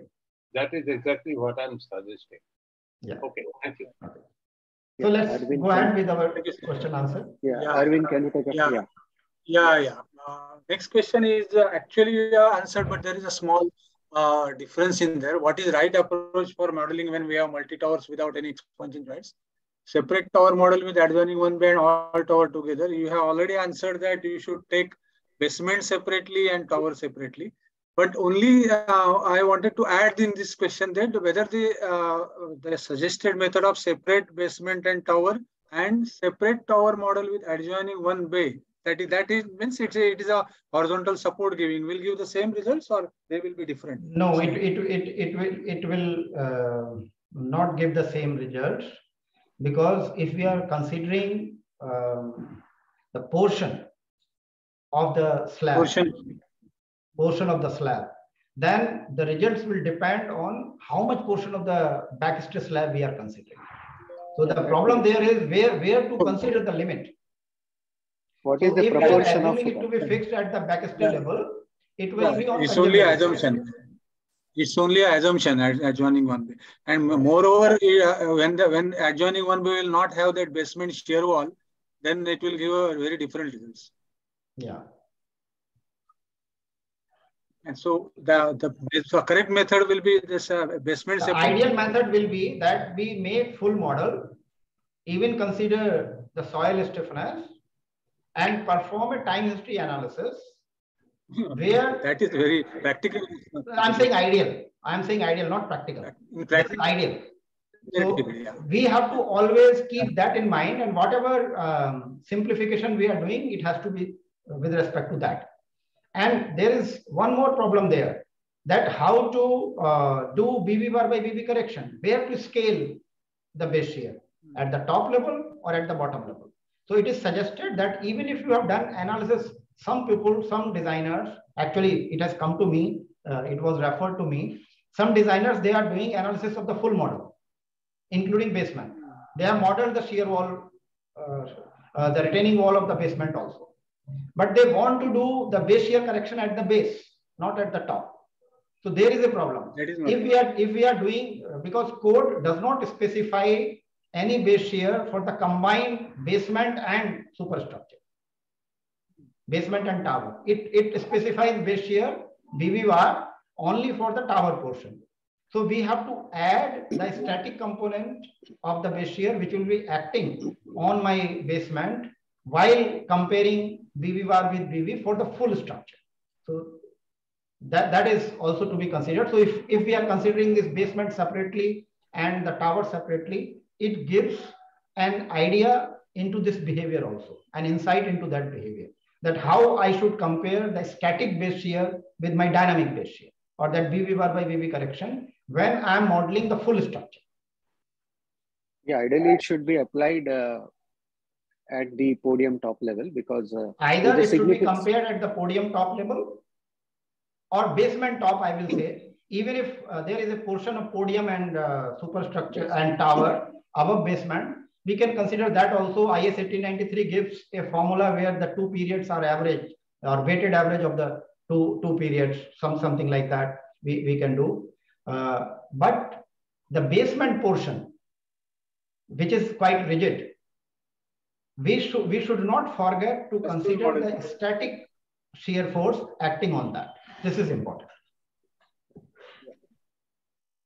So let's move to the next question where uh,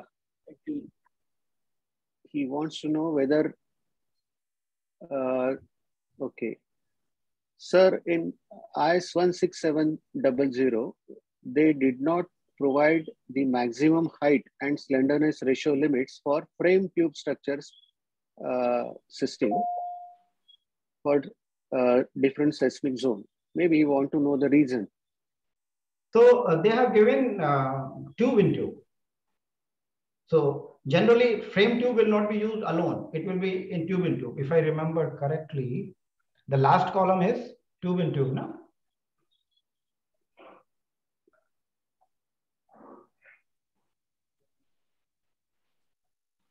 Yeah. So last is structure wall plus frame tube. So structure wall plus frame tube means a tube in tube system. So because uh, when we are talking about tall buildings, there will be always a service code and it is always advisable to use a shear wall in the service code. So actually it means to that only. Correct. Pure uh, frame tube will never be used until unless it is bundled. Okay, thank you. Over to you, Arvind. Yeah. Uh, sir, uh, shall the section properties be crack properties of, uh, of geometric properties? Slide number 38, he wanted to refer. So while considering period uh, limitations, there is a limitations to period. 38. 38 is regarding uh, periods. Oh, so question yeah. is that while that, calculating period, which properties we should consider? Yeah. yeah. Okay. So it has to be cracked section properties, including P delta effect. Because period gets elongated due to P delta effect also. So we have to consider the cracked section properties, including P delta effects. Okay. So next question is, uh, about the modifiers that we should consider for basement uh, walls, that is the retaining walls probably. Yeah, so for basement walls, uh, same what we are using for shear walls, and it won't make much difference because in any case, those are very rigid. So stiffness of those is very high. And most of the cases, we will be performing uh, uh, static analysis there. So it is not going to affect the period, but yes, it can affect the backstay effect to some extent. So for that, the um, crack section modifiers are already given in the code. Uh, next, yes. Rangara, I just wanted to have some reference books names for design of tall buildings. Any any suggestions we can make? Uh, tall buildings, there are few books, but seismic design of tall buildings the books are not there. So mostly these documents, ATC, uh, Los Angeles Tall Building Code, these documents, these I can share. So, and uh, this book by uh, Moehle, it is not specifically for tall buildings, but it covers most of the issues of tall buildings. It caters to all types of buildings, but uh, most of the issues of tall buildings are covered by him. Let's move to the next question. Can you please explain again figure B of slide 45, how CU and TU is linked with shear force V? Okay. So I will share my screen again.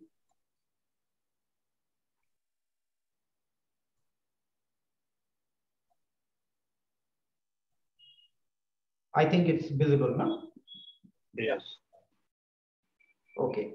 So uh, the total force which is registered is partly through shear at the interface, partly through the compression here, and partly through tension.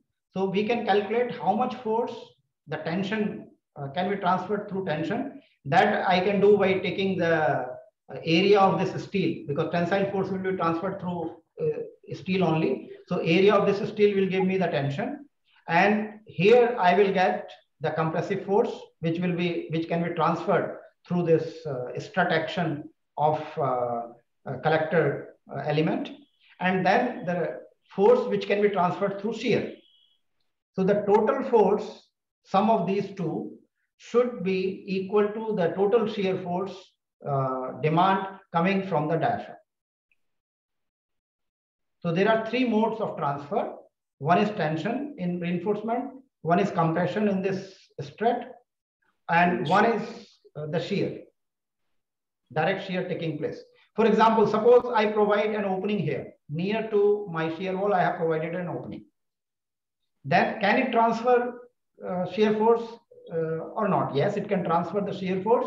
That will be equal to the tensile force, the capacity of these uh, reinforcement in tension, and then the strut action of this portion. The shear action will not be available. Right. And ACI 318 provides expressions for all the three portions to be calculated. Fine.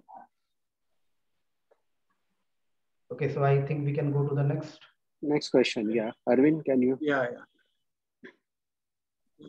Yeah, by providing backstay, uh, he is asking about sensitivity analysis. By providing backstay, then shear wall bending moment will be column or in combination system. Column bending moment may be like shear wall. By carrying sensitive analysis for two different things, for uncracked and cracked slab, so bending moment diagram will differ. What he wanted to know is if the one of the action is a, a shear like shear wall or other is a like column. So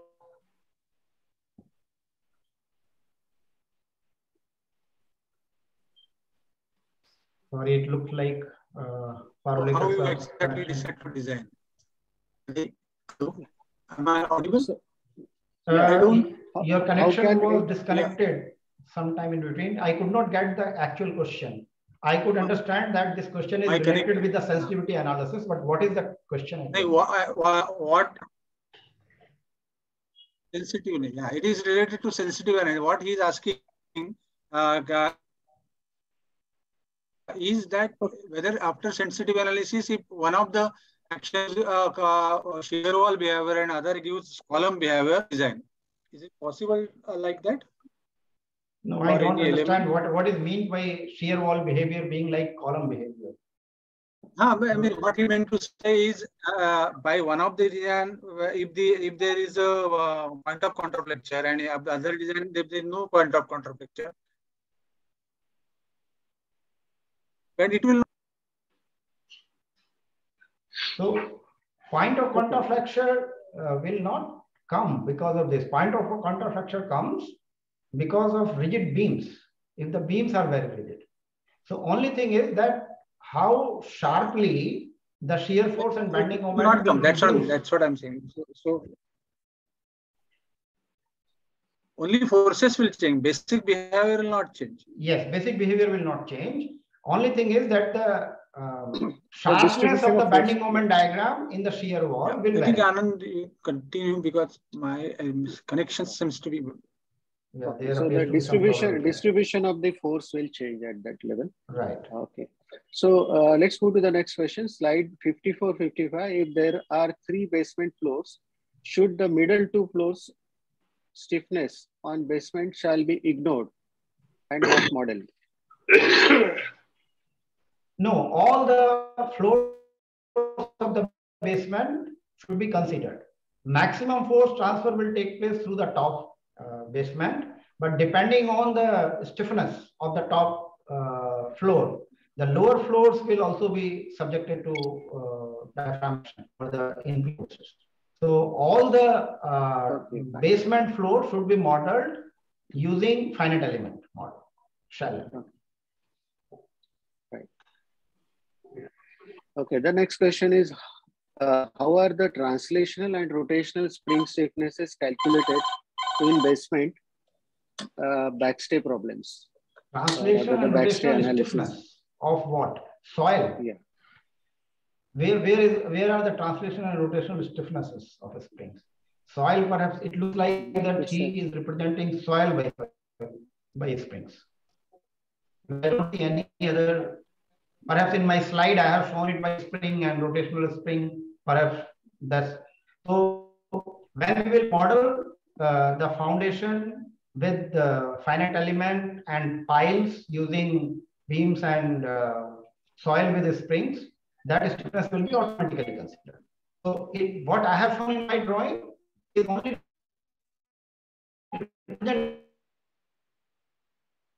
representative. Representative the whole thing by one. But in real model, we will consider the actual distribution of foundations. Wherever the piles are there, the raft slab, we will model retaining walls, but in many No, cases that is ignored also. Yes, it is ignored. Okay, let's move to the next question. Does the soil pressure have to be added on retaining wall to get more realistic forces in backstay effect? Uh, retaining wall, uh, I mean, this soil pressure will not affect the backstay, forces in the backstay. It will only affect the out of plane bending moment in the retaining wall. So by designing the retaining wall in out of plane action, we have to consider uh, the soil pressure in any case. But the backstay is more related to in plane action in the shear wall, not out of plane action. Okay, fine. So there is a next question that uh, instead of retaining wall, a diaphragm wall is constructed, uh, sort of a meter pile, what we can say. Uh, and all the peripheral beams are released at the edge of the diaphragm wall. So in that case, uh, I think he's trying to ask uh, whether we should consider the backstay effect. Uh, what is meant by diaphragm wall? It's not clear to me. Diaphragm wall is a, a, a sort of a pile only, a, re- a rectangular pile, but Okay. it is it is used as a retaining wall. So it serves both the functions. It uh, serves as a shoring system, Okay, and it also okay. serves as But a- it, it, it does not have continuity in the longitudinal direction.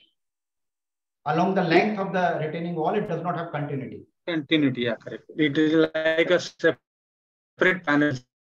Separate. Okay. In that case, the backstay effect will be missing because backstay effect is coming because of the large length of the retaining stiffness. wall. Yeah. So stiffness is contributed, walls, not the out of plane strength of uh, retaining walls. Fine. Yeah.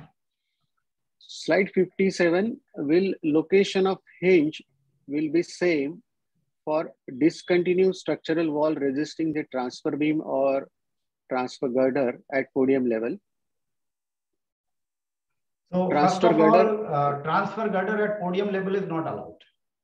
Right. Because uh, there the maximum forces will occur and uh, a transfer girder at that level should not occur, should not be provided. The code prohibits that. So transfer girder if provided has to be provided either below or above. Uh, So let's move to the next question. What is the logic behind considering the fixity at backstay level? Will it provide the same fixity like foundation level? Probably he means that uh, we uh, we are considering two analysis, one for the superstructure and one for the Okay, uh, so while uh, analyzing the tower, we have assumed the tower to be fixed at the uh, backstay level. So perhaps question is about that, that why we have, how can we assume that to be fixed? Uh, yes, So and correct. right. Yeah, please. So maybe he's trying to understand whether both, if he uh, considers a model, uh, single model and uh, split model, whether the results will be same. Slightly different. The reason is that uh, um, the tower, if we are considering fixed at the base, its period will be shorter than when we are considering the actual model.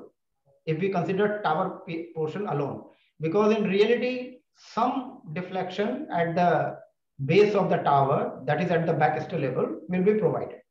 That flexibility is very small, negligible, but some flexibility will be there. So it will have tendency to increase the period.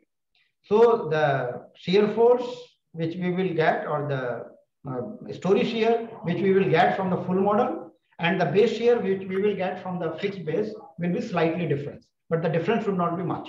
And what we are getting in the fixed base condition, that is on conservative side. So the next question is about the uh, the upper bound and lower bound uh, stiffness modifiers to be applied, whether it is to be applied to uh, all the tower elements as well. No, no, no. Tower elements will not be affected by that. It is to be done for the backstay and the lower slabs.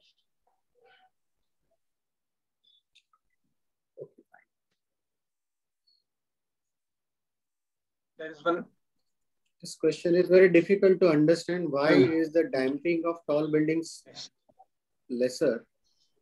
I don't think this question is clear. Let's move to the next question. Okay. The question is about how to perform uh, the construction sequence analysis on uh, ETABS. Maybe we can take up this as a separate topic. Separate topic when we will have the hands-on because yeah. uh, ETABS has that command. So maybe sometime we have to have a hands-on session uh, on sequential analysis also. Yeah, Arvind, would you like to take yeah, I'll take that. Uh, this from Mr. Vinayak Naik. For multiple towers with common basement, can we lump the mass base shear of each tower distributed within the footprint of each, each tower on the top of basement floor and analyze the basement structure separately? Vertical elements occur at base of each tower on top of the base, uh, base basement. Their design doesn't change as they go through to the basement. Therefore, only the basement element need to be designed for which the mass and base shear of each tower are sufficient. Yeah. This is, uh, that is correct. That is the explanation yeah. of our method. What, where we have suggested that tower you can analyze separately. He has explained that in more detail. But one caution here that while transferring the base shear from the tower, it will not be only base shear. It will be overturning moment also. So not only base shear, the moment that will be in the form of member moments as well as the axial forces, added axial forces. That will that be missing. That will be missing if you consider lump mass at right. level. Right. Yes, sir. So next question is uh, slide number 58. While considering whole structure, tower plus basement, assuming basement is rigid below the grade level, for equivalent static analysis, it is easy to give earthquake force input from tower base to rooftop. However, while performing response spectrum analysis, the natural periods and mode shapes of entire structure, tower plus basement, will be considered. Hence, distribution of lateral force in response spectrum will be incorrect. No, it is not incorrect. Can if you, you do uh, uh, modal analysis of the whole structure, you will see that in the fundamental mode, in the initial modes, it will be only tower which will be vibrating. So in structures where we have large difference in stiffness, in the initial modes, it will be only the upper portion. So fundamental mode will be more or less like uh, that, that it is the tower is vibrating with base fixed at the backstay level. Only in very higher modes, uh, in very higher modes where frequency is much larger, period is much shorter, there only the basement will start uh, participating. So initial modes participation of basement will not be there. So basement will remain uh, rigid. So there, there is not going to be much error in the period. Uh, next question, whether uh, is uh, question is that we're not clear whether P delta need to be considered if double height walls is proposed system. In any, any structure, any area. good practice, good habit, any structure, any component you are designing, consider period time. So there's a question regarding can we get the PPT uh, uh, for yeah. future reference? Yeah, sure.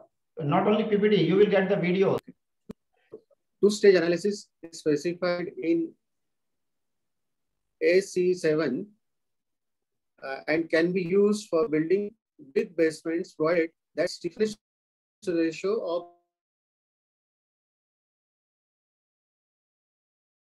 basement and tower is satisfied. Minimum requirement uh, entire structure shall be greater than 1.1 times the period of upper portion considered as separate structure supported at the transition from upper to lower tower portion. Generally, this method is used for lightweight, that is steel or wood frame structures resting on steel concrete basement or podium? Uh, so it, it is an explanatory note beyond uh, what we have discussed. So that is correct. It is an explanation of statement. If we do it for RCC structures also, where the basement is having uh, continuous retaining walls, as we were discussing, these are not so-called diaphragm walls, then these conditions will be easily satisfied. So this is valid for RCC um, buildings with RCC basements also, not only for timber buildings. So the Next question, question here is that a two, two stage analysis, uh, can we uh, use it as a general solution or it has to meet this uh, particular uh, two conditions, that is the uh, stiffness ratio and uh, the time period factor of 1.1. Yeah, that is correct. The limit, what he has said is correct. We should use in that limit because if the basement is not stiff enough as compared to a tower. Yeah. Then we cannot assume the tower to be fixed at the backstay level. Okay. And participation of the basement we will get in the lower modes also. So if the basement is adequately rigid as compared to the tower area, and that will happen if you have basement larger than the tower and it is provided with the retaining wall. Uh, I'll take the next question directly to, related to diaphragm action. What are the best strategies for ensuring diaphragm action for building with atriums? I will add to this. Whether this diaphragm action uh, adequacy is checked by software uh, by some means or how, how you how how we can ensure that? That is also a, practical question because there are so there are so many uh, odd diaphragm shapes with some small links and all such things. So how to ensure that in, okay. uh, in, in, so, perhaps when you say adequacy of diaphragm action means rigid diaphragm. Can yeah, you take this as rigid diaphragm? Yeah, rigid diaphragm. So for that, the clause is already there. No, I'm, that is okay. That is related to deflection, but uh, I'm talking about basic geometrical shape. Suppose suppose shapes are like that. Ki some uh, C shape, C, shape wall. You can take any any diaphragm, any shape, any cutout, provided you design it. I'm not talking about that uh, that uh, action. Uh-huh. When so most of many times such happens uh, that shear wall is almost outside the building. Mm-hmm. Means uh, like, that the lift wall generally they are right, almost right. outside the building and right. connected by a small portion small of the piece, slab. Small piece of slab. slab so whether whether it's to be considered as that, I'm talking about that connectivity, not overall. So in in case of see when you are sure that it is it will act as rigid diaphragm. Then you can model it rigid diaphragm. Wherever there is any doubt, you model slab also using shell element. Shell elements. Yeah, that's what and, I was coming and to. And that will automatically take into account stiffness because we will use crack section stiffness. So, so, so it will take into account stiffness. It will also give you the forces. Then check the reinforcement also for those forces. Correct. Almost and many many practical buildings we have to do that because a lot of times this such a small connectivity. Yes. If if we want to use a fancy shape, and uh, so we have to put more effort. Yeah, correct. As the price that we have to pay. Yeah. So now uh, next question is from Mr. Rutvik. He is asking uh, maybe the meaning of his question is that uh, which is the when you are doing a nonlinear analysis for coupled uh, shear walls, which which is the preferred location or the desired location for uh, the plastic hinge formation? So plastic hinge location, the desired plastic hinge location in case of uh, coupled shear wall is first at the two ends of the uh, coupling beam and then at the base of the two uh, shear walls, coupled shear walls. These are our targeted uh, locations. Location, right. Uh, in the next question is slightly still not clear. In amendment for IS 16700, in P delta initial load combinations, seismic wind forces are included. Is it necessary as the net axial forces will be zero? I couldn't understand this. Nothing. Net axial forces Oh, they are saying that, uh, okay, the axial force due to overturning which will occur, one side columns will go into compression mm. and other side columns will go into tension and net force has to be zero. So mm. why to consider the axial force in uh, the P delta effect? Mm. That, that appears to be the question. That appears, appears to be the question. Okay. So uh, uh, distribution of vertical load or axial force due to lateral load depends on the configuration of the structure. So net force will be zero, but its effect on the stiffness may be different on different components. So that's why the code is saying that we should consider the P delta effect in while considering P delta effect, the axial force due to all combinations we should do. The next question, uh, which is asked by Mr. Sachin Jain, uh, the wording is not clear, so I'll just skip that question. We move to the next question uh, by Mr. Rajvardhan Reddy. Uh, he's asking us a slightly philosophical question. How to improve stiffness of structure in spite of architectural restrictions? so you can use stronger, I mean stiffer material. In place of concrete, use steel. Use uh, composite sections. Okay. And higher grade uh, steel uh, higher grade concrete and uh, rather than actual numbers use uh, races they you will get higher. You can use the infills also, like the use of uh... In, infill going to crack and uh, interstory those are not going to help in interstory. Next question by Mr. Vijay Jalla, though is not related to today's uh, uh, uh, uh, but important. Table 6 IS 1 and 103. First three modes should contribute 65% mass participation. Okay whether it should be collective for first three modes in each principal direction or individual mode. Yeah, that clause is quite confusing. Yeah, correct. It is, it, it, it, is, uh, it, it has several interpretations. Yeah. So I have seen uh, people interpreting it differently. What I understand is that the first three modes may be coupled. It may not be always separated mode that first mode is in X direction, second mode is in Y direction, third mode is in rotation so it is possible that the first three modes may have contribution in X, Y, and theta together. So what I understand is that when you combine the first three modes, the participation in each direction should be 65% minimum. I practically I feel it is difficult to achieve unless it's a very perfect uh, building because uh, you will have to go beyond three modes to uh, get the 65% uh, mass participation? I understand. And I do not know what is the basis of that because if your fundamental mode is not contributing significantly, it only means that your building is irregular or complex. In that case, you have to perform the analysis adequately. But not to use that building, that is not very clear. Why not, why not to use that building? Why that building cannot be constructed? That's not very clear.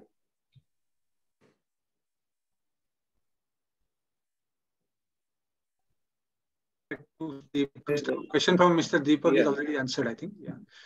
And uh, then, uh, sir, you could you explain more about scaling for dynamic analysis for the tower and calculate the time period for software like ETABS?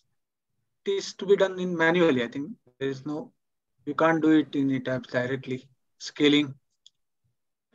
Now, scaling we can do in ETABS using the scale factor. Scale factor we always ah, no, that's manually or we have to put it manually only. Yeah, we have while, while doing two, while, he's asking about while doing two stage analysis. So one stage cannot be connected directly to ETABS. You have to do put it manually. No, uh, I'm not saying that you have to do two stage analysis.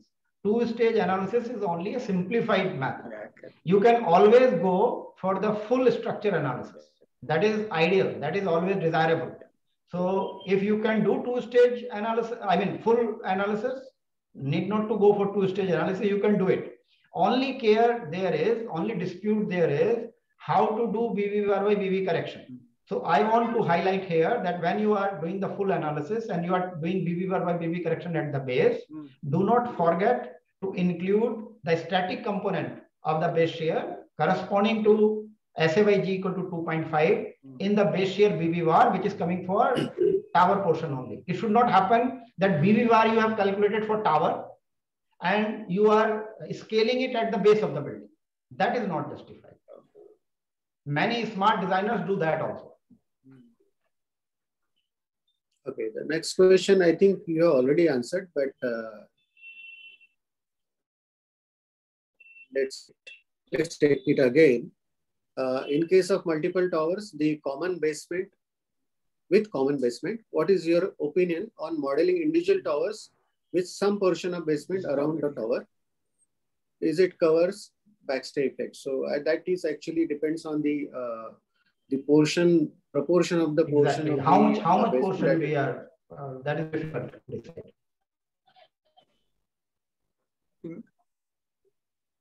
Next question is for basement with retaining walls. Is it necessary to design the retaining wall for the shear transferred through the diaphragm from the tower? Yes, but usually that will not govern the design not because the, the length of the shear wall is so large that hardly you will get any shear stress it is it is not a problem at all. It's, it's very easy. Very less forces we get in the uh, retaining walls as shear wall acting in in plane direction. The design will be mostly governed by out of plane force due to uh, soil pressure.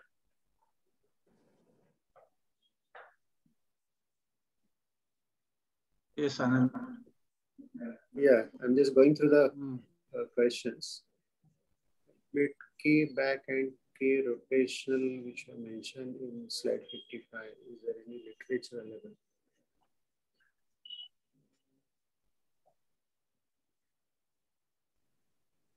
Okay, let's go to the, this should not apply. Okay, for calculation of any element displacement, ideally we should not apply any modifiers or we need to check the cracked moment stiffness modifiers? Not clear. Not clear. I think you have to refer to the service model actually. Service modifiers you have to apply.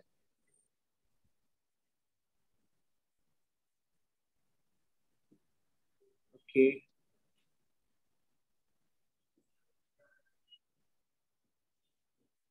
There are some very basic questions. So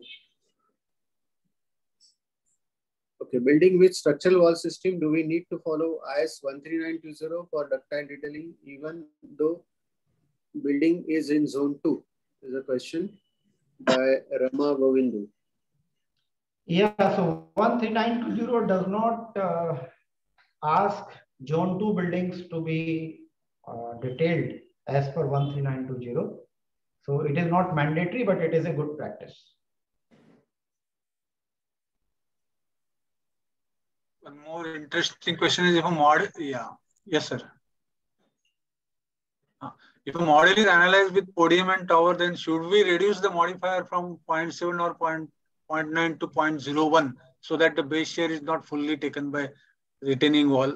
But uh, base shear is taken by retaining wall. Why, why we should? we don't want the base shear to be yeah, taken correct, by retaining wall. Retaining wall should take base shear. They are actually taking. Yes. Okay, so how to superimpose superstructure loads and moment at basement structure? Should we take load and moments in every load case on by one by one yeah. case or by one by one load case and superimpose separately with every load case? So like we are doing in case of other structures, we do analysis for primary load cases and we do combinations later. And we are doing linear analysis only so combinations are uh, valid. In nonlinear analysis, that may not be valid. But in linear analysis, if you do analysis separately, so dead load separately, live load separately, uh, earthquake load separately, wind load separately, and then make the combinations. So same way Super it is to be done. This is to be done only for earthquake load. Yeah. Next question by Bennett. Sir, can you elaborate why the energy dissipation is more when a plastic hinge forms at the base? for the same curvature ductility, why the displacement ductility is lesser for the plastic hinge at locations other than the base? So uh, we can understand it. Let me my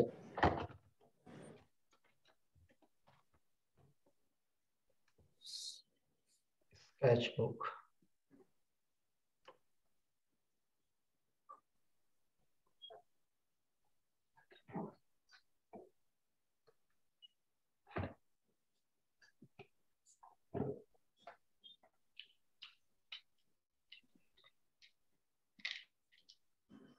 I will share my screen.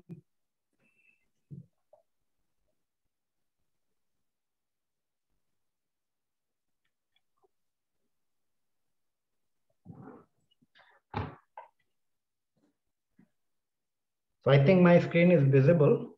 Yes, sir. So I have two cases. Let us say the shear wall.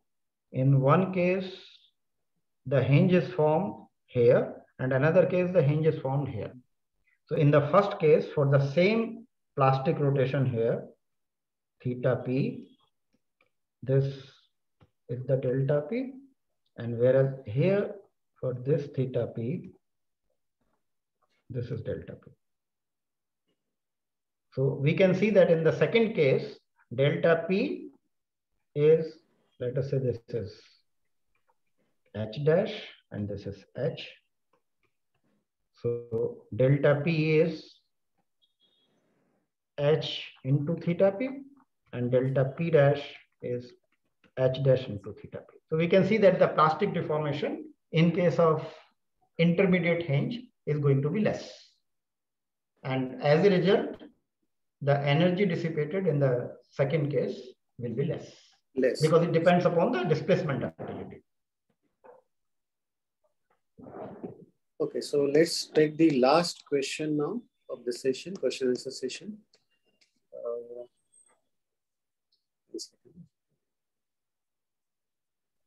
Yeah. One second, I'm just, uh, yeah. This question is by Mr. Rushabh. Is there any, is there any special criteria for design of collector element? And is there any maximum length limit of this collector element? This is an interesting question because it, whether it will give some uh, L by R ratio also to be considered or something like that. Okay.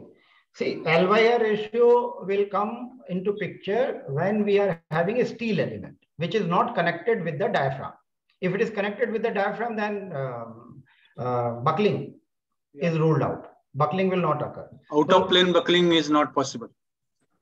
Uh, yes, you are right. Out of yeah, plane, out of, out of plane buckling can happen, na, sir? Yes, out of plane buckling can happen.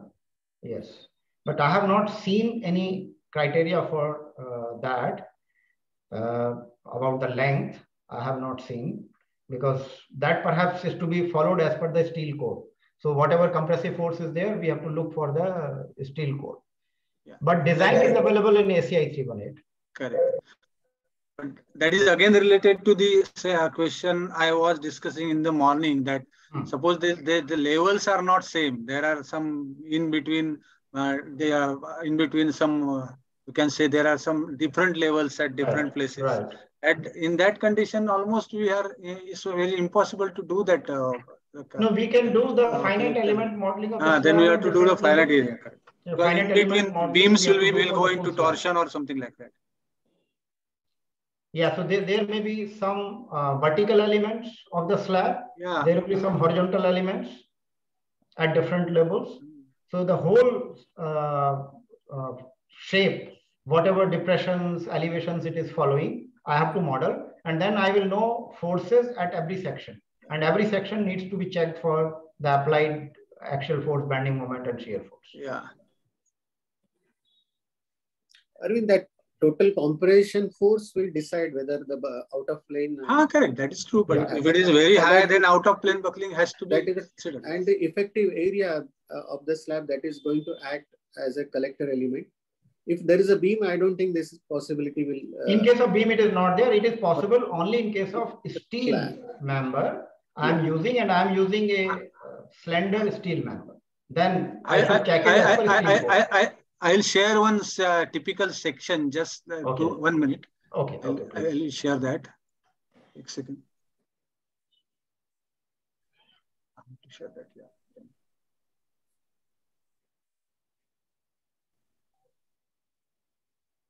So this is visible. Yes, it is visible now. So you you can see it's almost if you there is a tower and then this element is Right. Yeah this is almost zigzag because of various other things. Yes. Yeah. So this is a typical situation at many podium, uh, many basement Hmm. tops. It is it's, it's not it is a single section. It is, it is seen like that, but in other direction also it's like that. So actually, what I am worried about is this vertical element uh, near the Level uh, difference, yeah. level Near them, difference. it will give out high high Yeah, forces. It will be subjected to very high out of plane forces. Yeah, correct, Be correct. subjected to some torsional forces as well. yeah. In, Yeah, in plane, it will not be a big problem, but it will be subjected to out of plane forces. Out of plane, yeah, correct. So that is a very difficult case to do that. Yes. If you show all the plan, anyway, we can Yes, send right it to yeah, yeah. doctor, then we can review that Yeah. Because with But uh, we can Chandra make a full capacity. model of the basement and transfer all the forces coming from the towers Mm. and whatever forces are coming in different elements, Mm. we can design for that. Yeah, yeah. Arvind, I think in that case, you know, you can provide some stiffeners, you know, for Ah, that. uh, in between vertical element. period. Yeah. Okay. Yeah, so that the uh, force uh, from the Yes. uh, the yeah, upper level to the lower level will get transferred uh, effectively. So we are uh, coming to the uh, end of this question and answer session. Thank you, doctor. And uh, there's one question uh, which is uh, I'm just taking up for the information everybody. Somebody has asked uh, where this recording will be available. This recording will be available on our YouTube channel. You can go to the YouTube channel, Epicons Friends of Concrete. And after a couple of days, this recording will be available and uh, about PPT, how it will be available. Arvind, yeah, PPT will be sent to after you send the feedback to this. Uh, we will be sending to all all of. Uh, we will be giving one uh, questionnaire like feedback, and uh, along with that feedback, after we receive feedback, we'll send a PPT also. Okay. So, doctor, doctor, you have no objection for sending PPT. Ah, no, I have no no objection for. Yeah, okay, fine. I will create a PDF file. This can be freely shared. No, no no. PPT means PDF only. I'm PDF not uh, sorry, sorry. It's not PPT. It's It's a PDF. only. PDF. Yes. We will make PDF and then we will. Yeah, yeah. It's not. and It's not power PPT. It's PDF. I. I I'm- Okay, so now uh, I hand over it uh, this to Mr. Jayan Kulkarni for uh, concluding remarks. Well, the lecture and presentation was so elaborate and excellent. So concluding remark would be very difficult, but I will straight away go to vote of thanks. First of all, we thank Dr. Yogendra Singh, and we'll show next slide that what was the cross section of the participant that talks about his popularity and from where and how the participants are attracted. So something has happened also beyond effort, beyond our effort, because we had been at least two or three person from our office had been continuously following up the participant, past participant colleges, and such a different grand uh, cross section has at, has been attending this webinar. Next is Dr. P.C. Basu, because he's our very old thought leader and probably our entire love towards quick engineering series started with him. Gargi sir has left, but Gargi sir also has contributed in many of our webinars for the this topic and similarly other topics also. This time, Mr. Mandale is a chief engineer water resources from MCGM. He also attended the webinar, which was also boost to us. And of course, all the participants in such a large number you are attending, that gives you us some kind of boost to organize the next webinar. And all our staff, all our uh, organizers, I thank everybody. With this, we can say, which is uh, today's webinar is uh, over. We can always be with us. 137 webinar is not decided yet, but we are into structural design, proof checking of tall building, structural audit, assessment of NDT, concrete quality monitoring services, PMC, architectural and detail engineering. And of course, if you have any new topic in mind for training, please convey it to us. Please watch our YouTube channel and subscribe. With this, I thank everybody and declare that webinar is closed. Thank you. Thank you, Kulkarni sir, and thank you everybody for joining. Uh, thank you very much. Thank you. And Thank see you, you sir. soon some other place, some some other uh, webinar Hmm. or workshop. Sure. Bye bye. Sure. Thank you. Thank, thank you. Thank you. Thank you very much. Thank you, sir. Thank you, Basu sir, for joining. Mandale sir, namas नमस्कार and thank you. आपली काही ओळख नाही पहिल्यांदा फोनवरतीच ओळख झालेली आहे पण तेवढ्यावरती तुम्ही आलात वेळ काढून बरं वाटलं ठीक आहे क्लोज करूया shall we close Yes, sir.